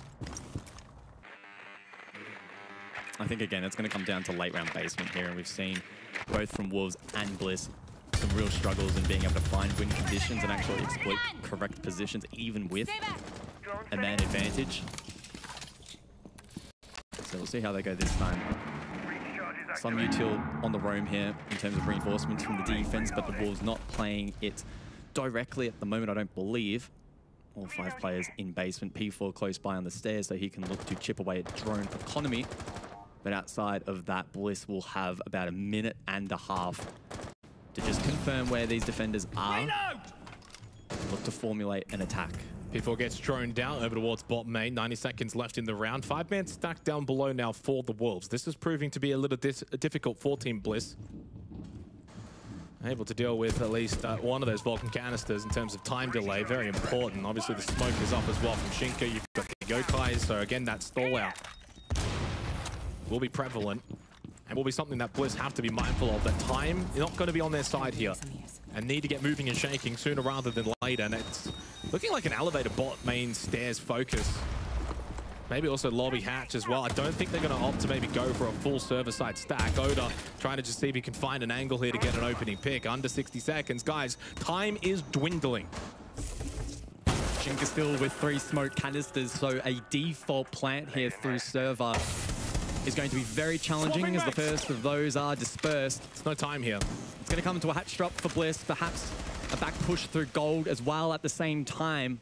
We'll see if they're able to pull this off with 30 seconds now on the clock. Flash out, uh, sorry, smoke out from stage. Fisher got to go once in again. I think he might have gone a bit deeper here, or otherwise that smoke missed. Never mind, in the end, Shinka does die. Fisher gets off the plant. 20 second trades out, three versus four in favor of the Wolves, though. Oda, bot main, you need to push. 15 seconds left. You're going to be the one now to make a bit of contact here. Try and find the next kill or two. Otherwise, the rest are going to go down. Dead, yeah, Fisher's gone. That's your planter. Down on the floor. Brendo in a one versus four. Wolves are going to make this 5-5. A very, very strict defense on basement. They look strong.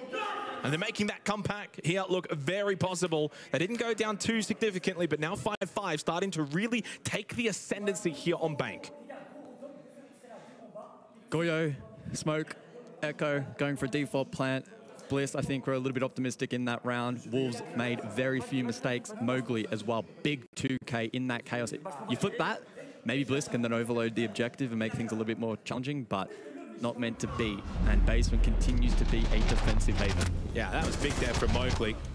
Massive moment again. He's been the MVP so far in this match. 10 seconds left. If you said what you said in terms of that flip, Mowgli doesn't get that double kill. Maybe you get hatch control for, for Bliss. They can overload side a little bit easier.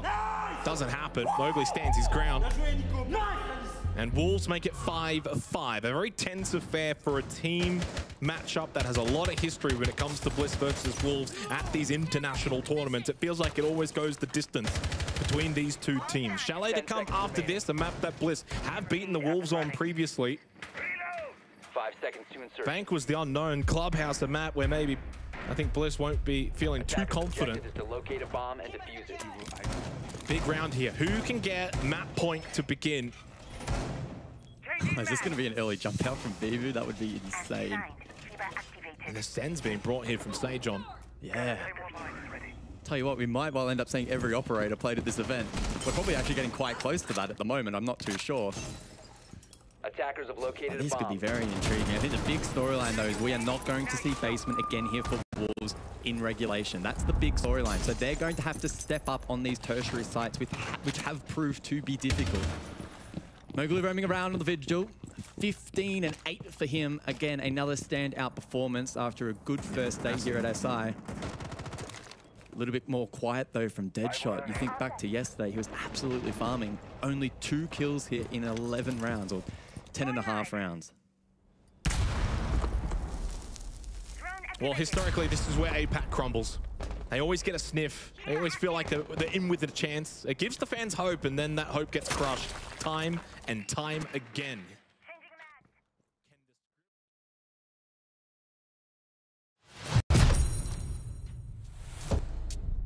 Hello, hello, hello, and welcome back here towards. Whoa, these are highlights. This happened just before, and it was a cafe. There's probably something NIP. Well, beginning, don't want to remember any of it. Clean swing in here from DZ on NIP's map pick. They're able to just hold pockets, completely tear them apart on the defense. NIP's attacks could not find a foot in. No, they couldn't. Meanwhile, DZ, they start off very, very strong, having so many almost flawless rounds where NIP they looked like, yeah, they might have a solution for this. And no, DarkZero, they had the answer time and time again. Only one player didn't really show up right now for DZ. That was Beaulo, but he did that supportive work regardless. So even the player didn't find the scoreboard still had impact in the game for DZ. They did on the second half. NIP start to find a little bit more rhythm in the motions. A couple of big clutches, a couple of big rounds, but the difference that had been put together by uh, DZ in the first half was just a little bit too much to surmount. We found it as the sort of end of it, a 7 to 4, but it could have gone a little bit closer. DarkZero had to take their time out, had to sort of go, okay, we're letting this get away from us. Won the round after the timeout. You do wonder just how far things could have gone if they decided to try and not keep pushing against the grain. Yeah, I mean, you know, if you know DarkZero's story the last couple of years, they love to go into overtime, and the longer they can go without it, I think the better it's gonna go for them, especially because long tournament, preserve your energy, and also maybe avoid some heart attacks for your long-term fans, because if you've been a DarkZero fan since the beginning, it's been a wild ride. Yeah, I, I mean, it's ups, it's downs, and here they are, still finding a little bit more rhythm to it. Nafe, again, what a performance. That's He's been able pretty to do. I guess that's the thing is you didn't notice it towards the end because he was what five and 0, 6 and 0 after Yeah. the first rehost that we lost out on towards the end of it. As a player who is a support player, being able to put these numbers up so consistently, I mean, you're looking at Pamba, NJR, and Beaulo who are probably looking at each other like, we need to do. We like, yeah, we gotta step up we here. gotta step up here. We're being shown up. Canadian looks miserable in that photo.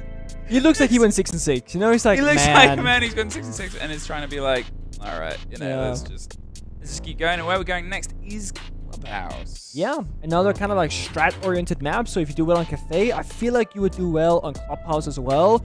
And you know, for NIP, they played it in the first game against G2. 2-7 loss, not the greatest situation. And DarkZero can watch that VOD and say, this was a weakness, we're gonna abuse that as well. And say, okay, we can now expect something from NIP, whereas they have no video evidence recently of DZ on this map. Yeah, it's that sort of tricky situation where, hey, who was the other team that NIP went into on Clubhouse and they didn't have any recent forward? Oh, it was G2.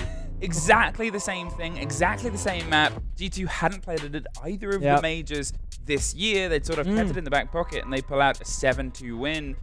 You know, there's a risk sometimes of double dipping a map, even if you're good at it. Certainly. If it's the same situation and the same setup, you sort of wonder like an, oh no, is it happening again?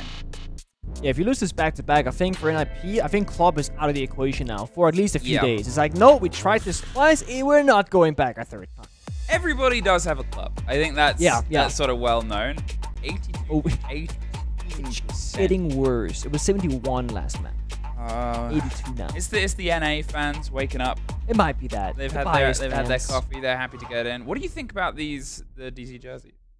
I, I'm okay with them. I don't. Okay. I don't love That's like the most neutral. No, it was like Yeah, honestly alright the, the first thought that comes to mind is like I didn't really notice that they're different, but but think about it, I, I did. You know, I saw uh, the boys this morning, but no, I'm like I'm like indifferent. cool. I Yeah, like they're the okay. shoulder pads. Very Very glam. You know what they're missing? They're missing like a star for like winning a side. You know, that's what they're missing, and that's what they're working towards right. I think, yeah, I mean, if you've got the stars on the jerseys, you can point to them. Canadian has, he should have one. Yeah, because G two they have they have two stars now in the jersey. I think for the, for the org yeah, and W7M W7M. has stars on the jersey. I, th- I can't remember if there was a picture that was on the Flickr Yeah, or that yeah, was posted of. both. Because the thing that happened yesterday with between M18 and W7M, there's like a little fun I've conflict. heard about He it. goes, "You see these two stars?" and he points towards them. I was like, "Yeah, okay, double major. I'm sorry." Yeah, but hey, those aren't SI stars. You haven't got no hammers on that jersey. Probably gonna get a hammer jersey, to be honest.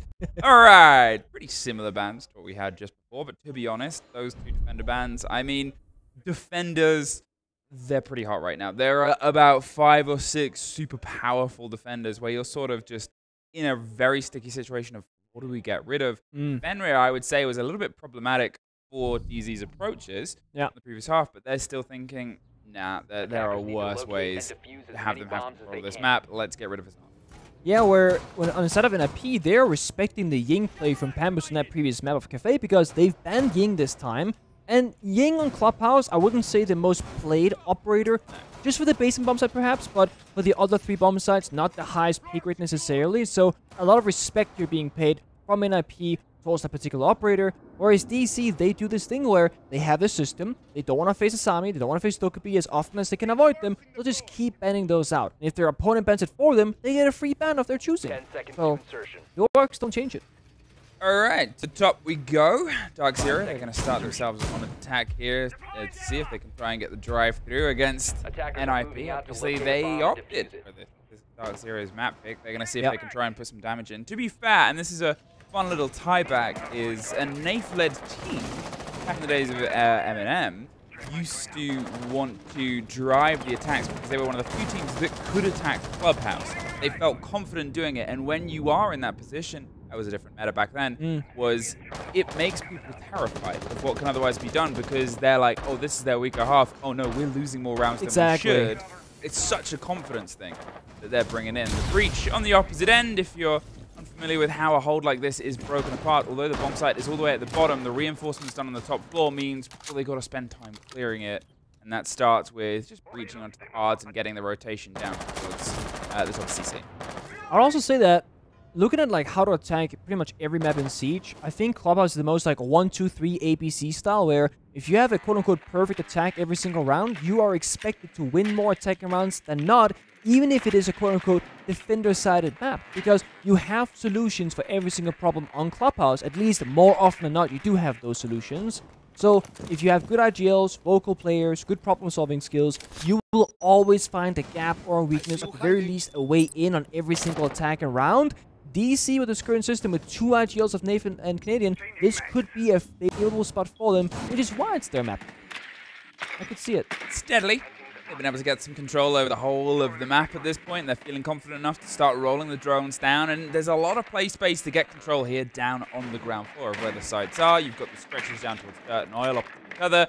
There are these intel pockets. If you are unaware, that man with the bubble he now gets a third one. Maestro is able to have a little bit more coverage and control. The gun is pretty good in the right hands as well. It's not at its best, but at its best, it was literally a surgical One could argue a little bit too strong for my Yeah. liking, at least. I had my SMG11 with 17 bullets, it's got 81. I'm like, it's not fair, man. Give me something more. The break on the hatch, you just sort of saw the trick there. If there's Kaid Claw, it will get exploded by any explosives that are close enough on the soft. They're able to quickly remove it. This, however, possible to get unless you have this Maverick. Burning his way across NJR, just gets that popped open. The thing is, 10 players, 30 seconds. This is about to turn into a massive brawl here, and there's got to be a lot of confidence in the calls of DarkZero. You talked about it before, how these end of round moments matter. Well, this is the biggest moment of it matter. 25 seconds. As they start to push their way up with the diffuser towards dirt, towards this first engagement, they're just taking it as slow as possible because Muzi is the one under pressure inside blue. Kondz gets Canadian, they get the kill and the kit cold inside the dirt tunnel at this point, and you're looking at a very long walk to even get that pick back up. Another body falls, another body falls, and at this point, a little bit too late for any of the NA lot to get, and a reverse, a flawless suffered by DarkZero this time at the opening of the map. As far as problem solving goes, it can't get much worse because DZ they saw a lot of problems everywhere across the bomb site and didn't solve a single one of those. didn't get dirt control, didn't get blue control. They got the kitchen edge opened up, but didn't do anything with it afterwards. So it looked like they were simply just stalled out for time. And historically, DarkZero, they are a team who always has to run very, very short in those late rounds on attack where they will only have, oh snap, 10, 20, 30 seconds left. Let's just kind of rush these last few steps, but that's where you stop making mistakes and things do not go your way. And in similar fashion to historic DarkZero, that's what happened in the first round here in Clubhouse as well. Okay, the first is your lead in NIP. This is the first yeah. time I think they've led a series across the two days and the two games. I think G2 were able to get themselves a step ahead both times yesterday. They obviously won both maps. Here, they have an advantage. They have that first strike. Oh, no, they got the lead on one of the maps yesterday. Okay. But I'm pretty sure they did. I think they did. I don't have the exact score, but it was 274-7 yeah, losses. I, I, might have. I think on the 4-7 they got the first and then things started to go away. But either way, what can they do with it? Can they try and thread a couple of rounds together here? Because the more that they can do, the confidence they can build against a team like DarkZero, who, let's be honest, when you have a major change, not just from the structure, but from the whole ethos of the team, there's going to be holes, there's going to be problems, and if they're not allowed to get the sort of ball rolling on a map like Clubhouse, it might fall into old habits, it might fall into, well, something that's easily uh, exploited. The hold at this point is at the top alongside the players, so they're not going to be leaving it as quickly as they did before. Easy start to get the hatches, some of the push probably towards, yep, there it is, CC, the Maverick and the Burn. Yeah, there's an extension here from NIP, the Holden Cash server. A little of three players, Psycho, Pino, and Muzi playing top red and server cash itself. And easy again, because they're playing Maverick, they will have to go a little bit slower. It's easier to work with because it counters the Kaid, Mute, Bandit, whatever that might be in your way, but it just takes a little bit more time to get up or open any of those walls. So it's worth it in long long run, but it's gonna make it seem like they're at a very slow pace. Gonna be okay. The worry is here time. If it goes away from them, well, problems might pop up. Mainly Wizard, who is very deep, going on the sort of frame over towards the back end of Blue, seeing if he can get maybe behind Garage, behind a single player. If he gets a take, change things off, and Beaulo is trying to watch for it too. Well, oh. they know. They had the drone with the watch. They can see the player hasn't slipped one way. Beaulo's watching one side. Pamba's putting pressure on the other, but it's all time that's being wasted. They've got to go for the fight, and they lose the first Pamba. Took the drop, the blind out over the top, the motion against it. There's the trade at least But still, that's about 30 seconds of attention that had to be paid towards the physical opposite end of the map. Yeah, and also I feel like they could have thrown out a flashbang when Pamba's would drop the hatch as well to kind of like blind Wizard, but instead they just go for the dry drop, 50-50 gunfight, doesn't work out, so they pick up the pieces, but at a cost now. NIP heavily favored here in equal numbers, 4v4, 3v3, etc., defenders will more often not be favored on the bomb side than that of the attackers. They have less things to worry about, less angles to worry about, and of course, they have the side, they have the tools, the attackers have to problem solve it, and with less manpower, with less utility, that becomes more difficult. 45 seconds, and it's ticking very quickly here. You're looking at around the same time on their previous execute. We all saw how that went. So, difference is the bounce on the bees towards the back of gym. Kondz is forced out towards the corridor, trying to find just a single aspect, a single place that they can get themselves locked in on pressure either side of the window. They have some of the control here. Canadian on the opposite end is trying to just get this diffuser in. The hop comes through. Kondz goes for the swing out. They're baiting the approach. They're behind the hard gym equipment. As Canadian's going to get this stuck down with barely any time left. Where are you, NIP, to try and stop this? The swing is too late. A post-plant situation out of something that they really shouldn't have been offered. They do lose Beaulo, but 37 seconds. That pressure of time works into their favor. Nafe with the lockdown. They got to go for the hop out onto the windows because it's a lot easier to watch here for Dark Zero. Kondz, he's thinking about the idea of it. He's going wider and wider, but the further he goes away from it, the further he goes away from the fight on the site itself with Psycho and Muzi trying to get some of the control. DarkZero's underneath. DarkZero's on top. DarkZero is all over this round right now. Clubhouse, they're able to find one with the trade, but DZ do it with not much time left. Not much time, but solid all around the edges here. They're holding it vertically, like I said, outside the window, from afar, up close, etc. They're in NIP's face, and time was slipping by. When you got the Grim open that was spent on Cafe, you have a new set of tool to work with, and DZ just showed us why Grim is currently a meta operator. You have to love the story of Grim. Yes. I remember when Grim first came into the game, like, we went through a period of a little bit of worry with operators. Yeah. You would see new ops come in, you would see this sort of performance and be like, uh-oh, this is going to be broken. This is going to be powerful. Grim went, oh, okay. Hmm. Hey, Grim. Yeah. I think it was W7M were the first team that ran Grim that I cast. They didn't even... Oop, beep. They didn't even use the bees. Hmm. They just sort of fired them and then ran a different direction. Um, and it was funny because you would say, "Ah, the bees were part of the play." Yeah. Wow. I saw Grim legitimately banned yesterday as a good move. and you're like, damn, this was not the case like 12 months ago, 8 months ago. I mean, gotta love it. Gotta love some Grim leader. Yeah, and I mean, this has happened a couple of times now. Where same thing with Lesion, very high presence right now in professional play and Yeah. play, and you go back only uh, you know six to twelve months and go. Lesion was played occasionally when you had space for him in the lineup, but you wouldn't make space to fit him in there for the majority of rounds. So small changes, yet impactful changes, will change the pick rate and win rate of operators quite drastically. It's it's really funny when sometimes it'll be unexpected ones as well because on paper you would look at that Grim change and be like, oh yeah, there could be more use of it. Yeah. And then you use it and you're like, oh, Damn. Oh, this is broken. you know, occasionally there's big ones. you- Grenade change, Yep. Um, but to be honest, it sort of had to be because an operator having grenades or not was the deciding factor on whether they would be brought at all, unrelated to anything other than their ability or their gadget. It was they have grenades. Yeah, all right, cool. Uh, we need one. Now, it's fun to sort of see lineups where there are no grenades. The, Yeah. the pick rate of that utility as a preference versus every other in the mud. Yeah, I mean, I guess you could say there's more creative flexibility now, and that that's more reminiscent of like 2018, 2019 personal siege, where yeah, you might need like two or three operators as your core, but the rest can be spread pretty thin depending on like what you want, what you prefer. That's why we see now like Oh. Monty Bravo all of a sudden, right? Why? Well, it's a bar defense. There's oh, it failed.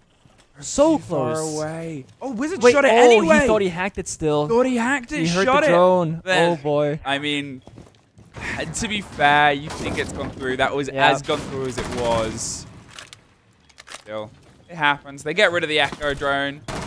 Now they can see if they can try and get their way into the site. So on this, this is the plant and the Yep. play. Canadian's going to roll on through. Kondz does get one. We've are seen this shield suffer before, but this time they have the cover. But Kondz is able to get one on the back of it. The Echo doing everything they can, but they don't want to sit without anywhere else for them to go. So now stuck. Canadians gone deeper than you otherwise usually would for the plant. They're concerned about the push and the pressure round on the back end of it. They could just try and reverse shield, get their head down and get this tucked on the corner, but they think they can get one more kill before they go for it. They're worried that someone might rotate onto the second story. So NJR has done just that. And then gone down one more level thinking, well, nobody's there. There is at least a single player. If they take the drop on this hatch, if they play this last bit of verticality, Psycho is the sort of difference maker in this situation. Interesting. Now they go for the plant. Vertical can't see them. No Yokai drones. Might go down.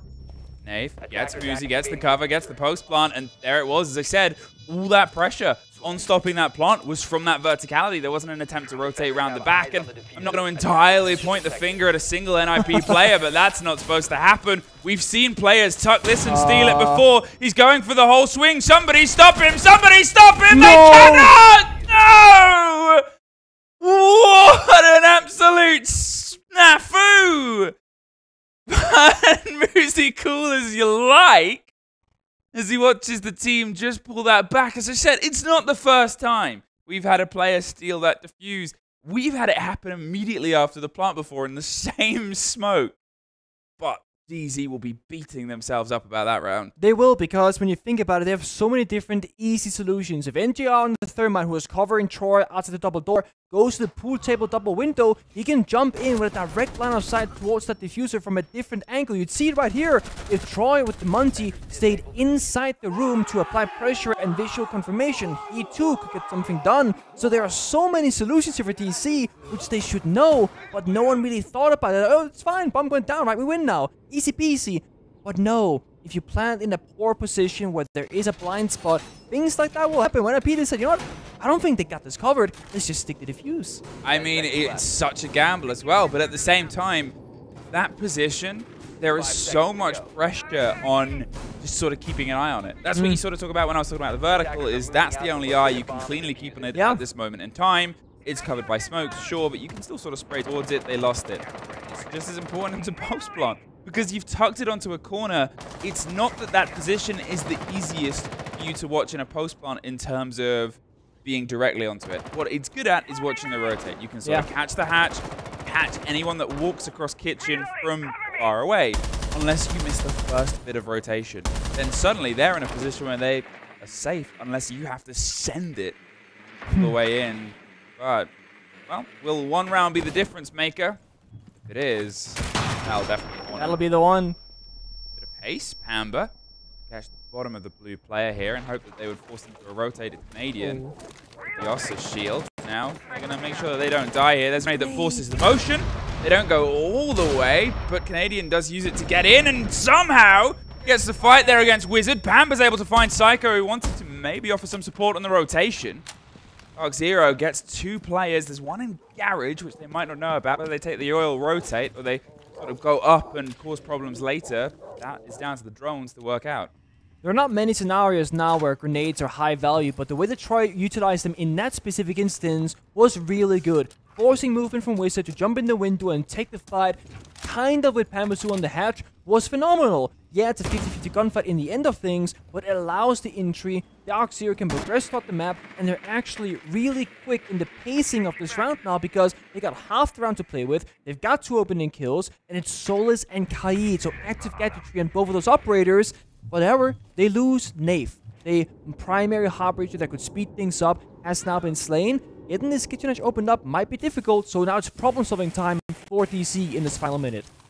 Final minute is a worrying word, especially on this site, but at least they've been able to take two bodies before they go for the push. As you said before, problem solving was that sort of final line that they wanted to get over that last bit of a hurdle. Here they've got a little bit of problem solving. Pamba might be able to find one more fight. They have the pings on how close the player is. Muzi, a very dangerous rotate, but he had to be back in the site, and he's able to at least make it happen. He will be much more shaky in whatever engagement comes forward, but Canadian with this, the Talon Shield can sort of force a bit of motion. However, it's a Oh. long deploy. The impact goes out. Troy has to pull his way back in. Canadian's going to pull that out of his pocket. Now has to go for a second strike. 15 seconds wasted. Time is getting further and further away from them. It's turned from what was a very quick approach towards the kill on blue to now a last second push onto blue. The single player in dirt once again on the far side of the push. They've got to try and win out. They do not. Beaulo goes down inside dirt, which means Kondz can rotate his way back up towards blue. 10 seconds. They're just trying to force it onto Moto at the same second. The fight goes out the tray, but it's the man with the kit that's gone cold. They don't have the time to try and hold it down. And Muzi with a triple gets an IP for the second time.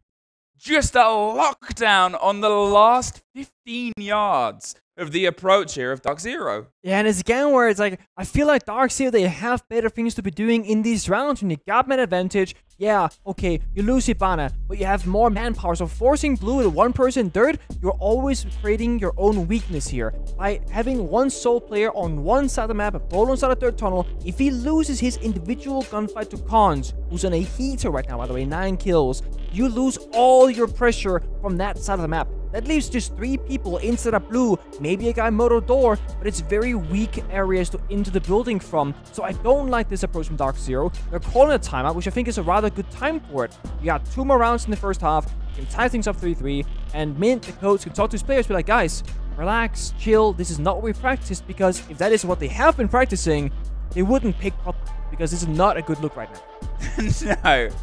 Yeah, it's definitely bringing a couple of questions onto the sort of drive of things, but they opted to start on their attack. They opted to try That's and fair. make things happen, and they've now taken time out on attack as well. So you don't know if the conversation is more towards the clarity of need to comms, we're getting into our own heads again, or if it's more of a general, we need to win more of these attacks. Mm. Whatever the balance is, it's something that they need to rack on emotional or statistical in the game.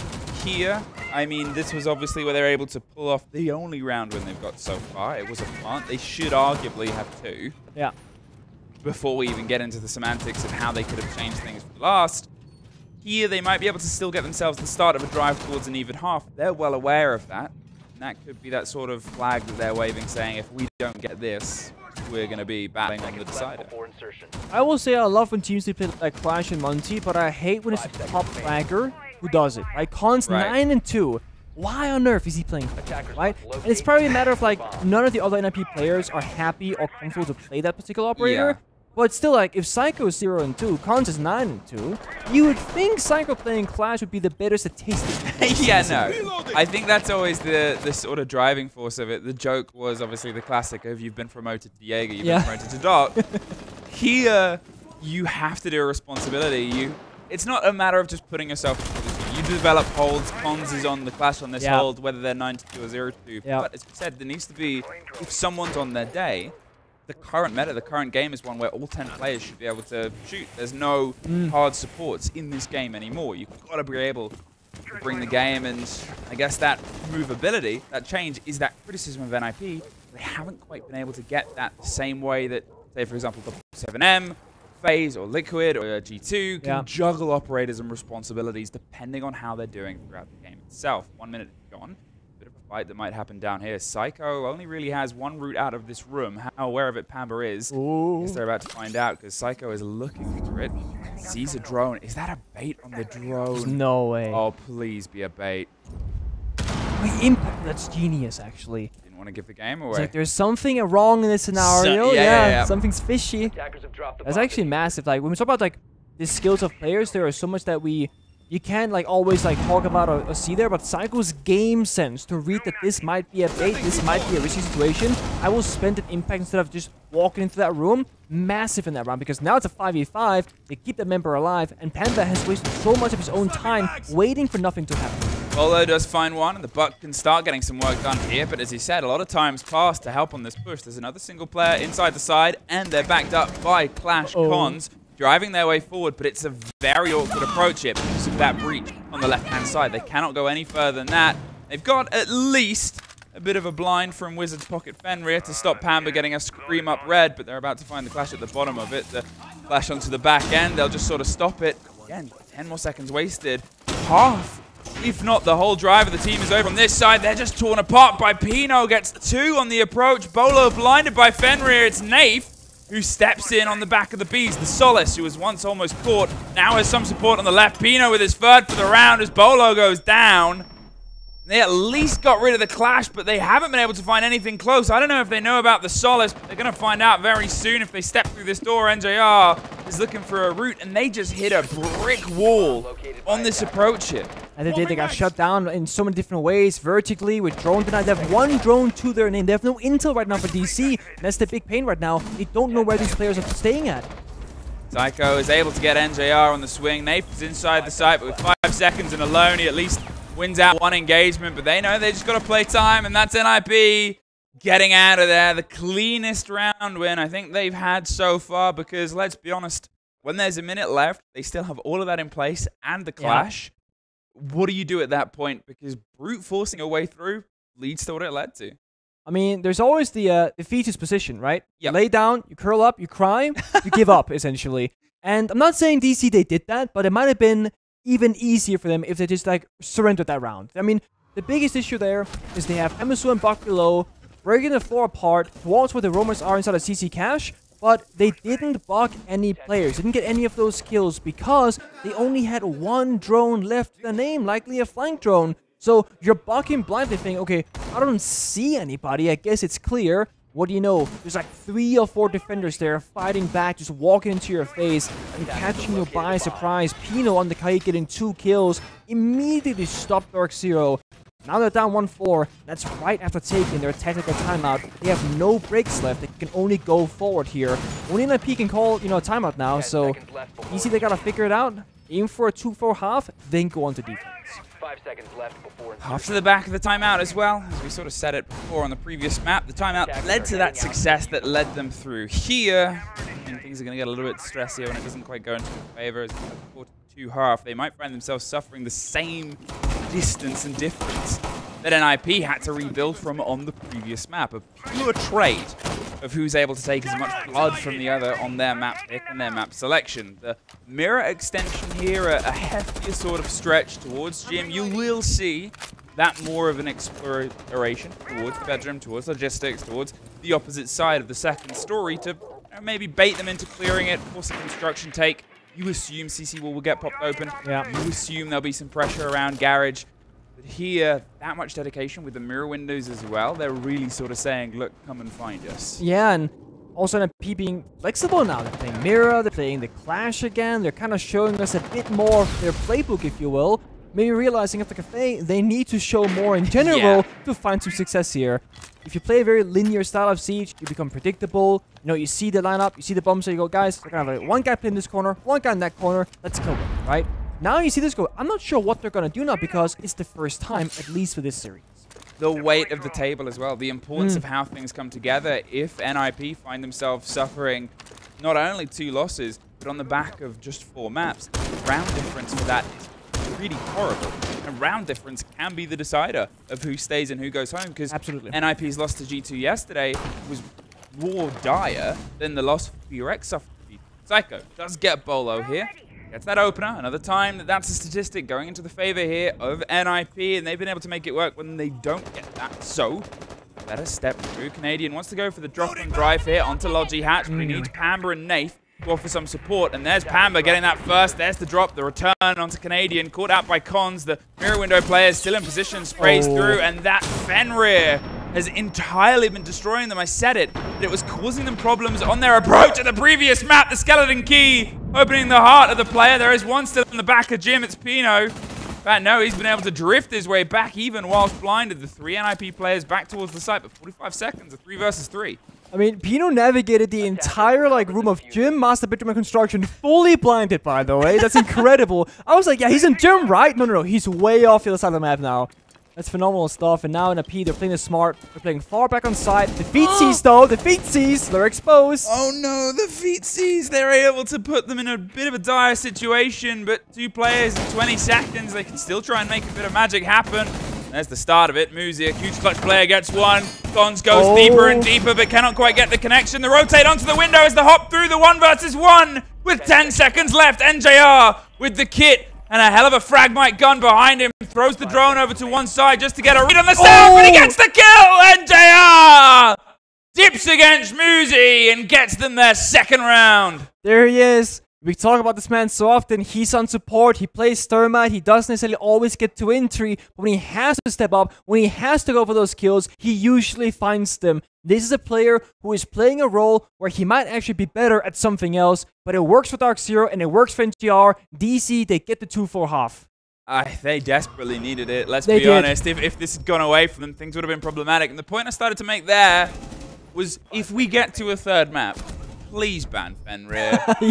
It's causing them so many problems. It caused them problems on Cafe, and I said it at the time where, Yeah. you know, they ban uh, NIP banned off Ying as a sort of sign of this is what we're struggling against here. Yeah. Dark Zero, yeah, you're not going against his army. NIP are playing this Fenrir so well. It stopped them on that approach. It kind of really messed them up on the previous approach as well, because as soon as they swung the open sort of wall towards the top of red, oh, there's a Fenrir, they had to leave. They had to go back in. There wasn't another option for it. Or, if you're not going to ban it, then you have to pay it a little bit more respect. Mm. Go towards something that can get rid of it. Maybe a Flores if you've got to get it. You have the back of the drone. Maybe something that can steal it, Yeah. as you've done a little bit before as well. There has to be, for my money, just a little bit more respect paid towards how NIP is utilizing this gadget. No, I fully agree with you, and uh, and frankly, while the Fenrir is a problem, I do think that Dark Zero did a good job at problem solving that round. You know, they, they walk in, one person flashing the mirror window, one person punching it, etc. So they're progressing, but you're right, like things are way more difficult than they, than they should be, essentially, because those Fenrir mines are always in their way. But Clubhouse also, it's a it's a map rather where you want a lot of different operators, right? You want hard like a lot of hard reaching, or maybe the Munty, the IQ, whatever. It's hard to fit a Brava or a Twitch in your lineup, so this is also an NP being smart. You're utilizing an operator that is hard to deal with because of the operators that you want in your lineup that can't deal with Fenrir essentially. So it's smart stuff from NIP. Now they get to attack. They now have to problem solve those exact same problems on the flip side. NIP on this approach where things didn't quite work for them on the start of it was losing a Monty round one of the first map. Here, Kondz again. Off the roll, where they get a gun, and on the roll where the tactics is, Kondz is our shield player. Kondz will play the shield. Hmm. Will it work? They got away with it before because of the work that was done structurally to stop them, but it's much harder to be in that position where you're on the push. We've seen the struggles of it before. They can't get through the electrification on that as of this moment. They don't have the Maverick to play the trick here, so instead they can only really go for the hatches that can be opened outside the IE floors until they start doing some juggling work to pursue onto the back end or playing against obviously those pocket EMPs that are both otherwise used by Psycho. And it's smart because normally the pocket EMPs, they will not find the Kite Claw, but they've paired the IQ with them as well on Muzi, so they can get the scanner out, yellow ping exactly like Claw is, then EMP with accuracy and guarantee the hatches to be opened up. So you might be thinking, why play IQ? There's no Valkyrie right now. Well, that's one of the reasons. It also counters Kaid, and it speeds things up for an AP, it gives them more access points, and they guarantee the openings of the hard hatches, which you need on Club Plus. Yeah, Pocket EMP is a very cool gadget that was introduced. Very, very tiny EMP radius Yeah. to keep it balanced. As I said, point perfect is necessary. What also might be necessary is putting your eyes towards the site itself. We criticize DZ for not really giving themselves a lot of time to problem solve on the site itself. We're getting the first roots down into Oil Pit and into the ground floor in the basement itself here as Moose is just going to scream his way up. The pings are coming from the back of the bees. He's gone all the way into Lou. The pressure Oh. Moto, but he's caught out in the trade. It's a four versus three. The Psycho double dips around the corner and they are absolutely executing Dark Zero. They had such a good read on where all of the players had got themselves tucked into and they tucked them right in a bed. And this is the thing, like when you have Grim for that execute, you get those red pings. Two or three players from DZ's defense were completely marked throughout that execute, but also Latam, Brazil as a region, they are so excellent at those exact kind of takes. You go in, you play off one another, and NIP back in their prime in like 2019, 2020, etc. That's the exact performance and playstyle they excelled at as well. They were so good at just getting in there, taking gunfights, trading positively, and just taking full control. They lost one member in that round. They killed all five of the DZ's defensive players. I mean, as I said, you, you know, when you leave yourself not a lot of options, you got to problem solve. And you sort of pointed out there, the play on the Bs giving them the read, the play on the positions, they knew it. Knew it in advance. They knew where they wanted to put the pressure onto, whether it's, you know, the sort of research on how that take goes or the hold that was put ahead of them. Either way, flawlessly put together. The 5-2 at this point. DZ, they're traveling in a dangerous position here because they know at some point they'll probably have to end up going back to that site, whatever happens again. Five seconds remaining. So, can they try and make success on their second and maybe their third choice here? Because you've got to make rotations when you're this far behind.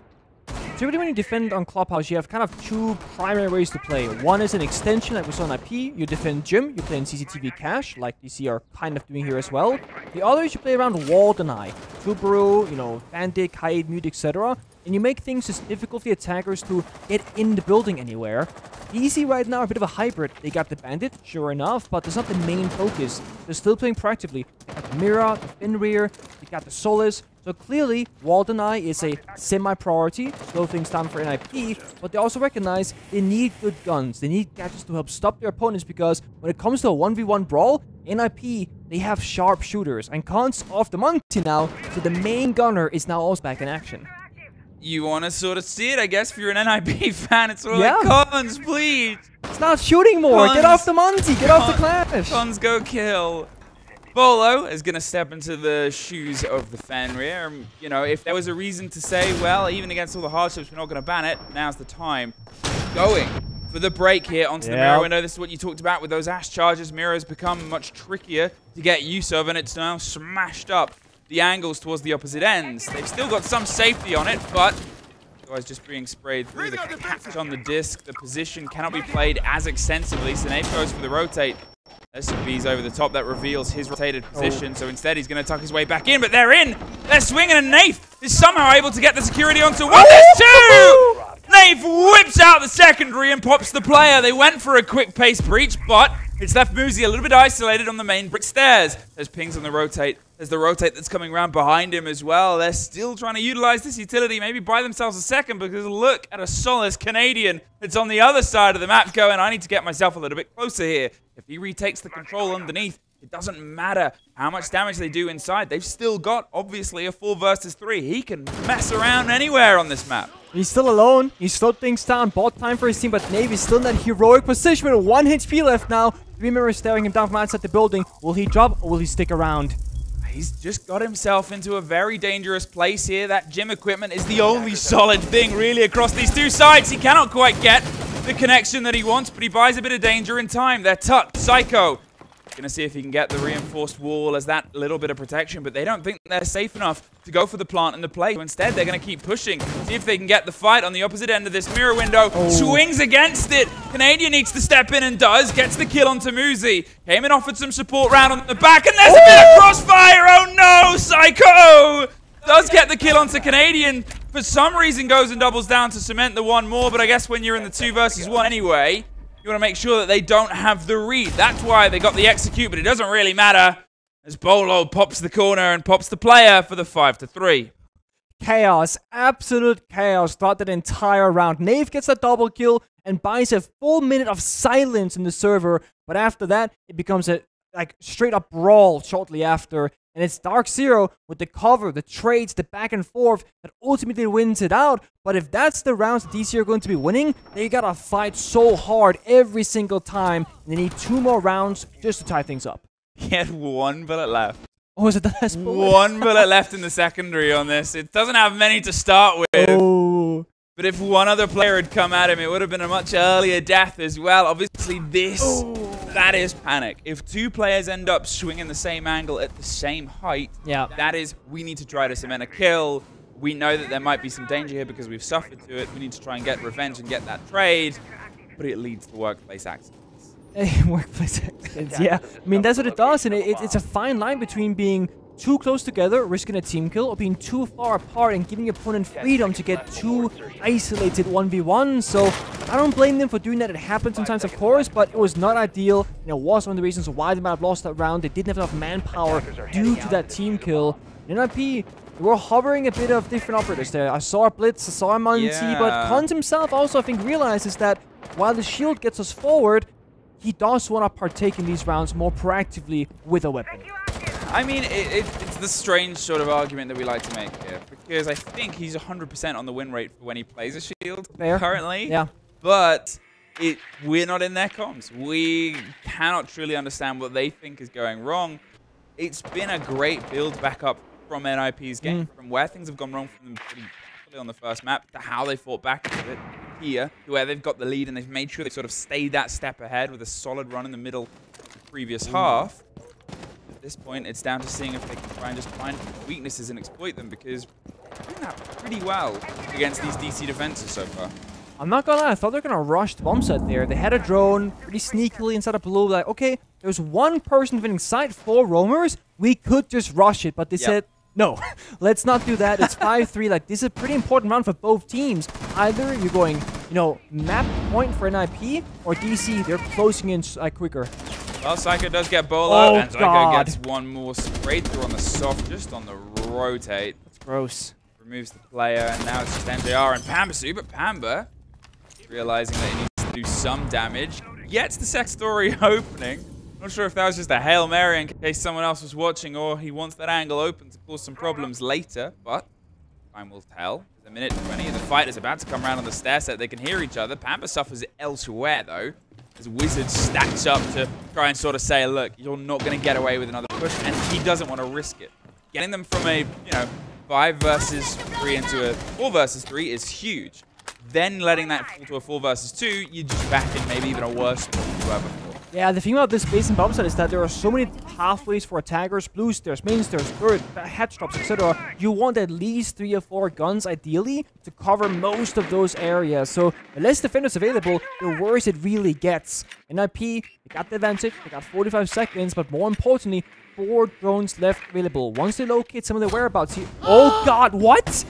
I think he climbed the ladder in garage. He must have. Yeah, he's come up oil pit. He's got the stab and oh, terrible news. And this is where NIP sometimes struggle. You saw Kondz go, do I go down red? Do I push it? No, Pino's got the fight. No, Pino doesn't have the fight. Nafe, he's suddenly been able to swing this balance back. The silent what? killer from the UK gets the clear across it. Kondz drops in towards Moto. Is trying to find the swing. He's got a goo mine in his foot, so he's got to take that out before he plants anyway. And when you're planting in a two versus one, what else can you do?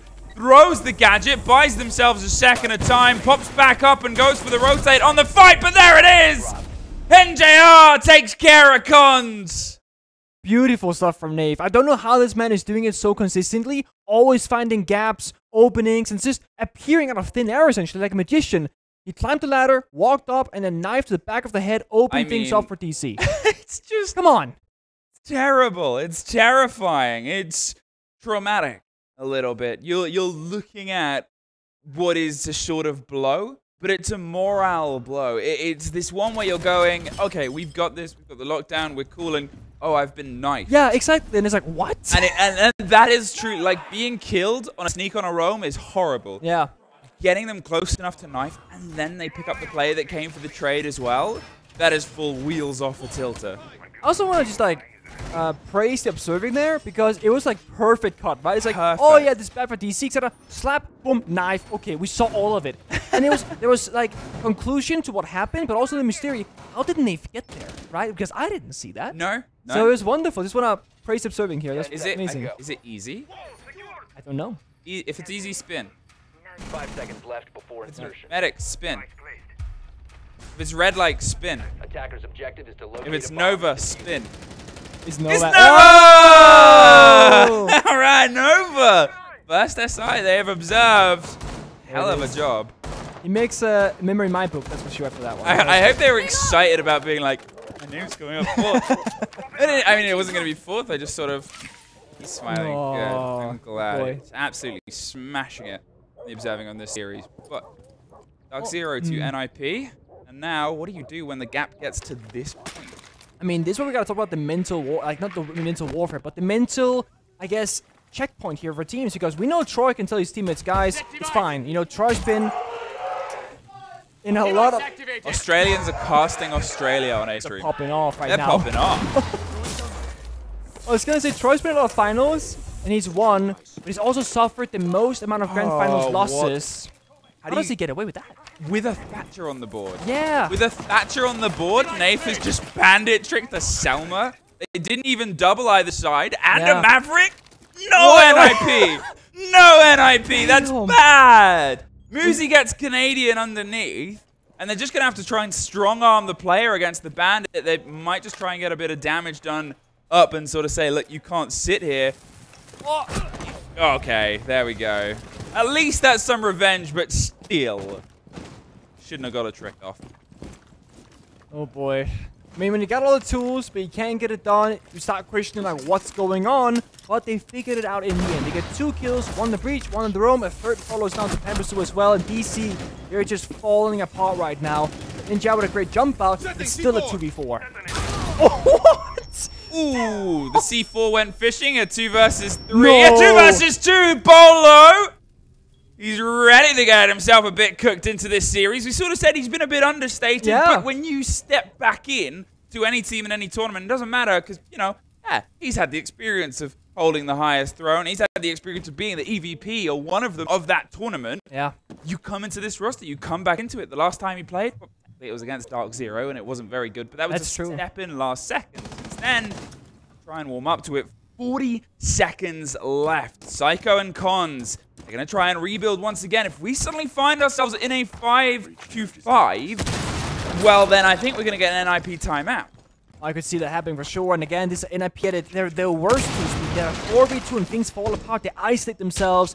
Utility here might do the work. It's NJR and Beaulo up against Psycho and Kondz. Oh no, caught out, forced into the position. Great play on the utility. Beaulo, he's in the one versus two, but there's only 10 seconds. If he can try and isolate this into two fights, the oh. Maestro bubbles are giving him the read. There's one and he's down. He's looking for the second. He finds it. Beaulo! He's back low, baby.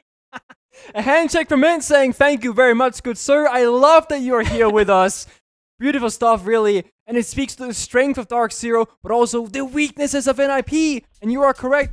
I mean, they will call their tactical timeout because things are falling apart. And that's my point earlier. When you have Troy on your team, who's been in so many finals and won them, but been in even more finals and lost them, if anyone can keep your players and himself in check mentally, it's gotta be Troy. Whereas for NIP, we know they're an emotional team, so to speak. When things don't go well, they get frustrated. They're passionate about the game, right? Of course they are. But right now, it is slipping away. And I fear a little bit for them and their mental state.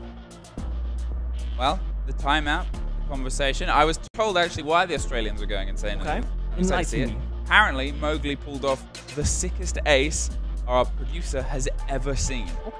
That's pretty high praise. So I'm I'm excited to uh, get, get a replay eyes of that. on that at the end. We'll get a replay. I'm sure we'll be on the socials soon enough as well. But to be fair, Beaulo coming in with that quad kill is just as much I was gonna say. on our stream. What a moment for him to pop off. And as he said, two rounds in a row, two tilters. When you are up with a two-person man advantage and it goes away from you twice in a row, horrible. Do you know when else that happened? What? The first, uh, two of the first three rounds NIP played yesterday against Ah. G2.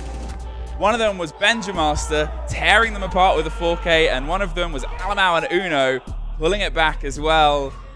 On club, I think. Oh no! And, it, and it's sort of this moment of like, I said this might happen again. It's happening again. Oh boy, NIP, you got work to do here. Yeah, keep saying it. It's a long tournament. Things can still be fixed, but you want to start off as hot as humanly possible. Dark Zero, they have been close to overtime in a couple of their maps so far, but they usually have escaped it and won or lost in regulation. If they win next coupling rounds, they will once again avoid that OT. But right now, they're on the right path. They've won the last three rounds in a row, two of them, as you said, being clutches. Now it's tied up. NIP had the timeout. They talk things through. Let's see if they can change this ship around. Yeah, it's to break momentum as much as it is to have this conversation, but it's a conversation that DarkZero can have as well because, yeah, they shouldn't have won those two rounds. They did. They take that energy, they take that momentum, they put it into the conversation of, look, we are doing this against the foot. We can drive this home. This can be our carry on, and other emotional words you know. They're going to be throwing through the mics into each other's headset. Nafe, when he played this power position before and was able to pop a couple of bodies, is on a slightly different operator, not giving them the sort of chance on the mirror break, the chance on the pressure here. Instead, it seems like a different take. Anyway, the wall gets opened, as it often does with Jacuzzi, but Look at this, the change of focus, where they struggled with the positions of the DarkZero players last time around construction, around CC. This time, they're cutting it in half, paying a lot of attention Yeah. towards that side of the map. I like this. I, I call this like phantom pressure, where you open jacuzzi breach, construction breach, and windows and doors. If you're DarkZero now, especially out the Valkyrie, you don't know exactly where this push will be coming from. You gotta feel out the map right now and figure out, okay, what might be the pathway right now for the opponent. And again, another wall is opened up, but no one's here. Instantly, Wizard drops down below. So, DarkZero, if they move a little bit too much, might be caught off guard. And that's someone like Canadian who does move around a lot. He tends to die early in those moments. Pamba's holding on with the pre-held C4 ready on the lineup, hoping he can get a bit of audio of anyone that might go for the breach here in the approach onto the CC balcony. It's Kondz with the kit and the thermite as well, but said with all that's already open, it's not as big of a loss. The C4 comes out, the swing Oh. doesn't quite net the rewards. Kondz, he's able to step in as the fight goes into Beaulo's favor, still on the tear from the previous round and still with some structure to support him. Wizard suffers next on the swing. They're watching that window on construction, so anyone that tries to escape this is going to get dropped. But, I mean, we're in the sub-minute time. They have to try and get rid of Beaulo. The pressure's on him. The first flash doesn't net it. The blind, the second either. They're dabbling with it. That one will, but he swings into it and finds the kill before he gets taken out. Finally, Psycho screams up red stairs. But there's half a minute left at this point. They've only just been able to get control of the back end of it. They've still got the site itself to apply pressure. Canadian tucks behind the desk. Oh. Overlord office is waiting to take them by a bit of surprise. They've hopped out onto the windows. The bees to buy them a little bit of space in a three versus three. 20 seconds. Wizard finally makes the last steps through. The plant is going just on the other side of the bed. They're going to go for the cover and support. There's Wizard getting Canadian. There's the attack on the zip. They get one. Watch the second drop down with the Maestro bubble. The two versus two. Nafe has one impact in pocket. Wizard has one route to run, and he's just going to try and get himself tucked further and further away. They're going to hold on. They think that they're not going to watch it. We've seen a thievery of a plant like this before. We oh. see it once more. Twice in the game.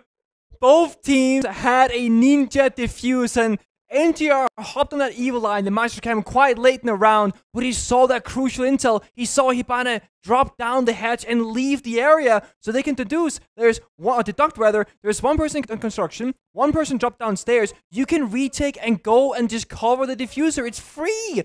NIP, when things are really dire, when they're really stressed and pressured, they make these micro mistakes with massive outcome on the round, like not having a strong post plan, just like we saw from DarkZero. And Beaulo early on, he knows he might have died, but he got two kills and he stalled so much time. Job well done. I mean, truly doing some huge work over the past couple of rounds. As I said, it's a player who we know the capabilities of, not just from how they've played with previous rosters, but how they've played in this tournament. Yeah. He is an SI veteran with more sort of accolades than even other people who have lifted the hammer because he got the double down with statistical performance too. There is no one else that you sort of go, oh, who can we get to bring into this role? Oh, well, we have, you know, a champion who was one of the best players in that tournament. Oh yeah, get him on the line. And to get him to start to get comfortable, to get used to the new sort of meta, it's great to play there. Again, it, it's this push here from NIP. They did great to adapt what went wrong last time. Yeah. However, when the round is going great and they're able to get into this position, that sort of late half game, the post going wrong, three times now we've seen that advantage just filter away because of a pluckiness that DZ has. It's got to be so sort of demoralizing. Absolutely. I mean, it has to be. And to make things worse now, DZ, they're a match point, series point for that matter, and it's a very stable, very cookie cutter kind of lineup for them on the basement, right? They got the Wardens kind of smokes, they got the Mirrors to make things difficult, and got smoke from Panbazou to shine a plant. NIP, they have one trick up their sleeve. They've not shown it yet. Glass, Psycho. Back when Glass first got the buff to see through smokes, Psycho was one of the first players that people genuinely feared on this operator because he was so phenomenal at playing the DMR and just beaming people down. NIP can get to the side, all five players alive. They have one set of smokes on Glass himself. They could enable the full potential of him to carry this round if they can get through in time. Half-round is almost burnt now. They've just entered the building, time to open up those hatches, go through those motions, but they lose oh, Muzi no. early to Nafe. That's not what they want to happen. Nafe just causing problems. Every single round it feels like. I know, and there again, Nafe gets the kill on Muzi on the Sword of Adameria, blue stairs twice. This time a very different story, but when you are this close to the end, this close to losing your second series, this close to losing your fourth map, and seeing that distance grow ever wider between you and the top of the board and the top of the group, you know how hard the fight is going to be in your following two play days in the following two games. A minute left. Breach the hatches. The Buck is going to try and force a pocket of space and get some clarity on towards this plant. They've got themselves stacked up, DZ. They're watching it from A-Case. They have a Warden, as you said, but that might come here together on the cover of any of those smokes if they try and drop them into the plant and just try and find a little pocket because well, the downside of those gadgets is you got to sit and wait for it to activate. If you know they're going to fall through a small hatch, you know where to aim. Yeah. That's the thing. Without the Grim Beast, you have less intel to work with. There's still five, four drones now for an IP, but you're playing a man down. NJR playing that AK's position. Crucial position to play in, of course. Gotta see where NIP will strike and when they will go. They go for the drop. They go for the hold. You can hear a Thorn Gadget does most of Kondz, but the C4 gets the end of it. 5 to 3, 5 to 2, and another C4, and another NJR! Psycho cannot find anything. We start the series of flawless. And apparently we end the same way. Oh boy, DZ, they were heating up. They had a couple of moments on Clubhouse where I thought this is not the same team we saw earlier today on Cafe, but they figured things out about the halfway point in this match, and all of a sudden NIP, it looked like they did yesterday against G2, they do not have Clubhouse figured out for themselves. It had to be a bit of five of DarkZero.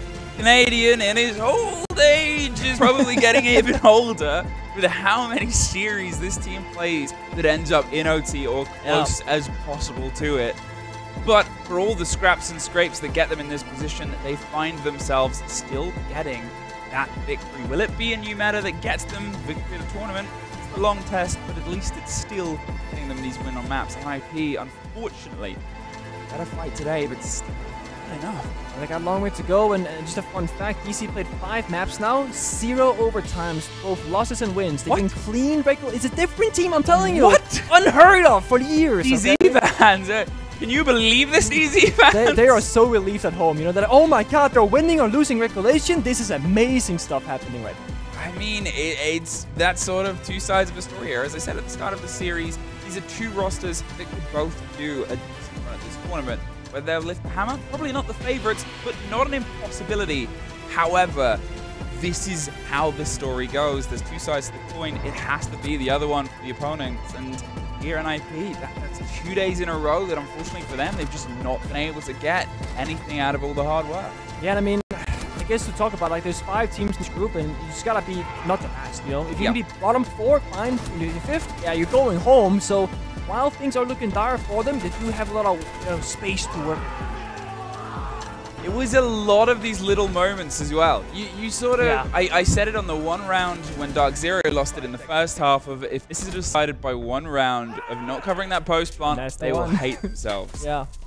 And then it's the other side of it where NIP suffer a stolen and injured defuse. And, it, and it's just, that's how close it is. That's how close the wire is. If they had watched that, they might have got to OT. You might have been able to get to map three, but you otherwise would have been able to do some of the deficit. It was as close as it could be, but still, as I said, although there are expectations for them to perform well against, say, who are, let's be honest, they're probably the riskiest one with the most to prove at this tournament, Yeah. especially after their loss today but also they put in the start of a good performance. We saw some spark there, and you never really know how the game is going to go until it's today.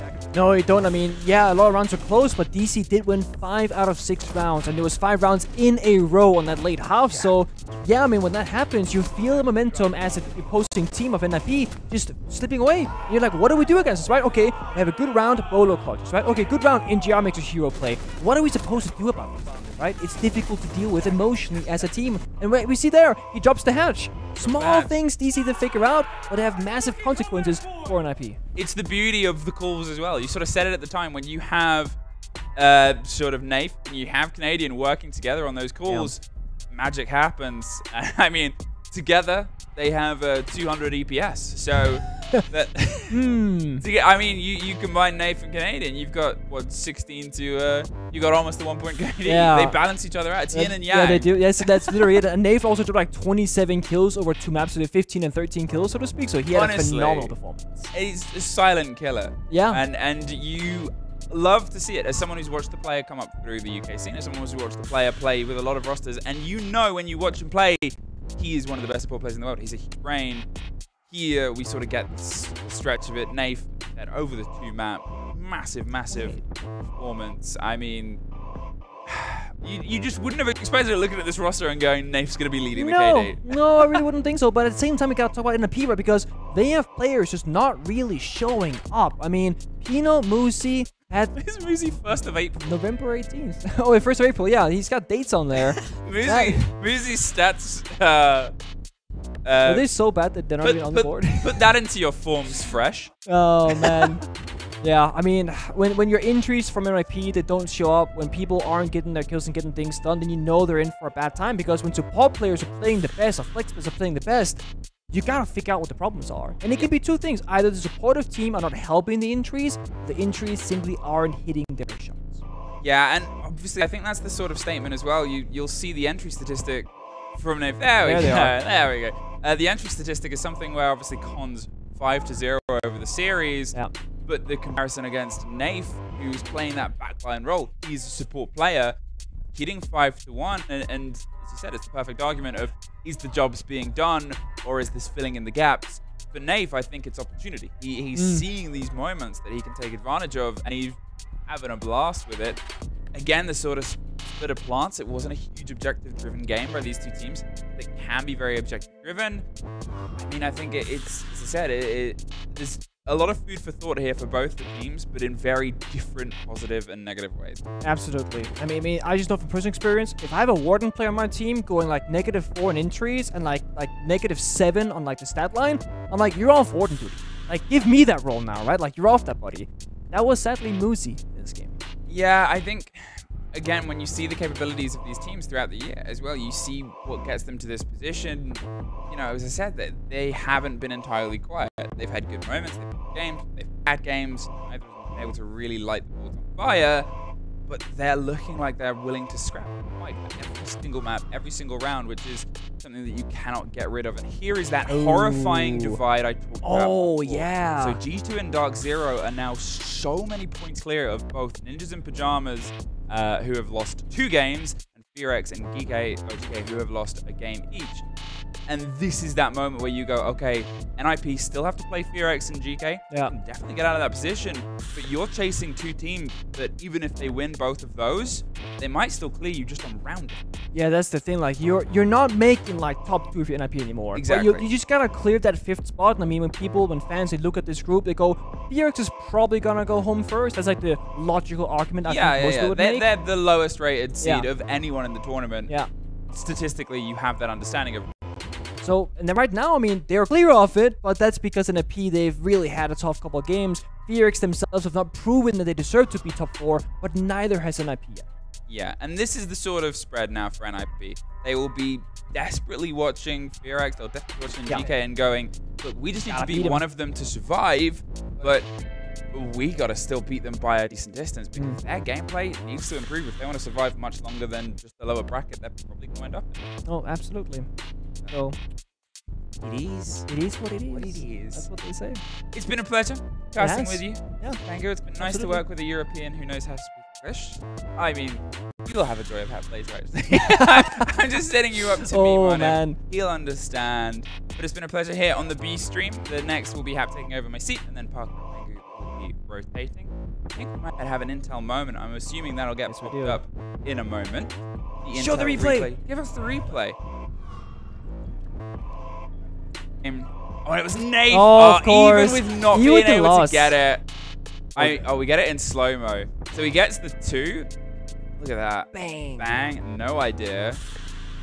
Bang. Smoked. No idea. Oh, I like that they We, we it don't. out. Yeah. We don't know what happened We don't know what happened. though. Nope. It could have been He might have won it. defining moment. Anyway, that's all for us. It's been a pleasure. We will see you back on the stream in about 20 minutes. Cheerios.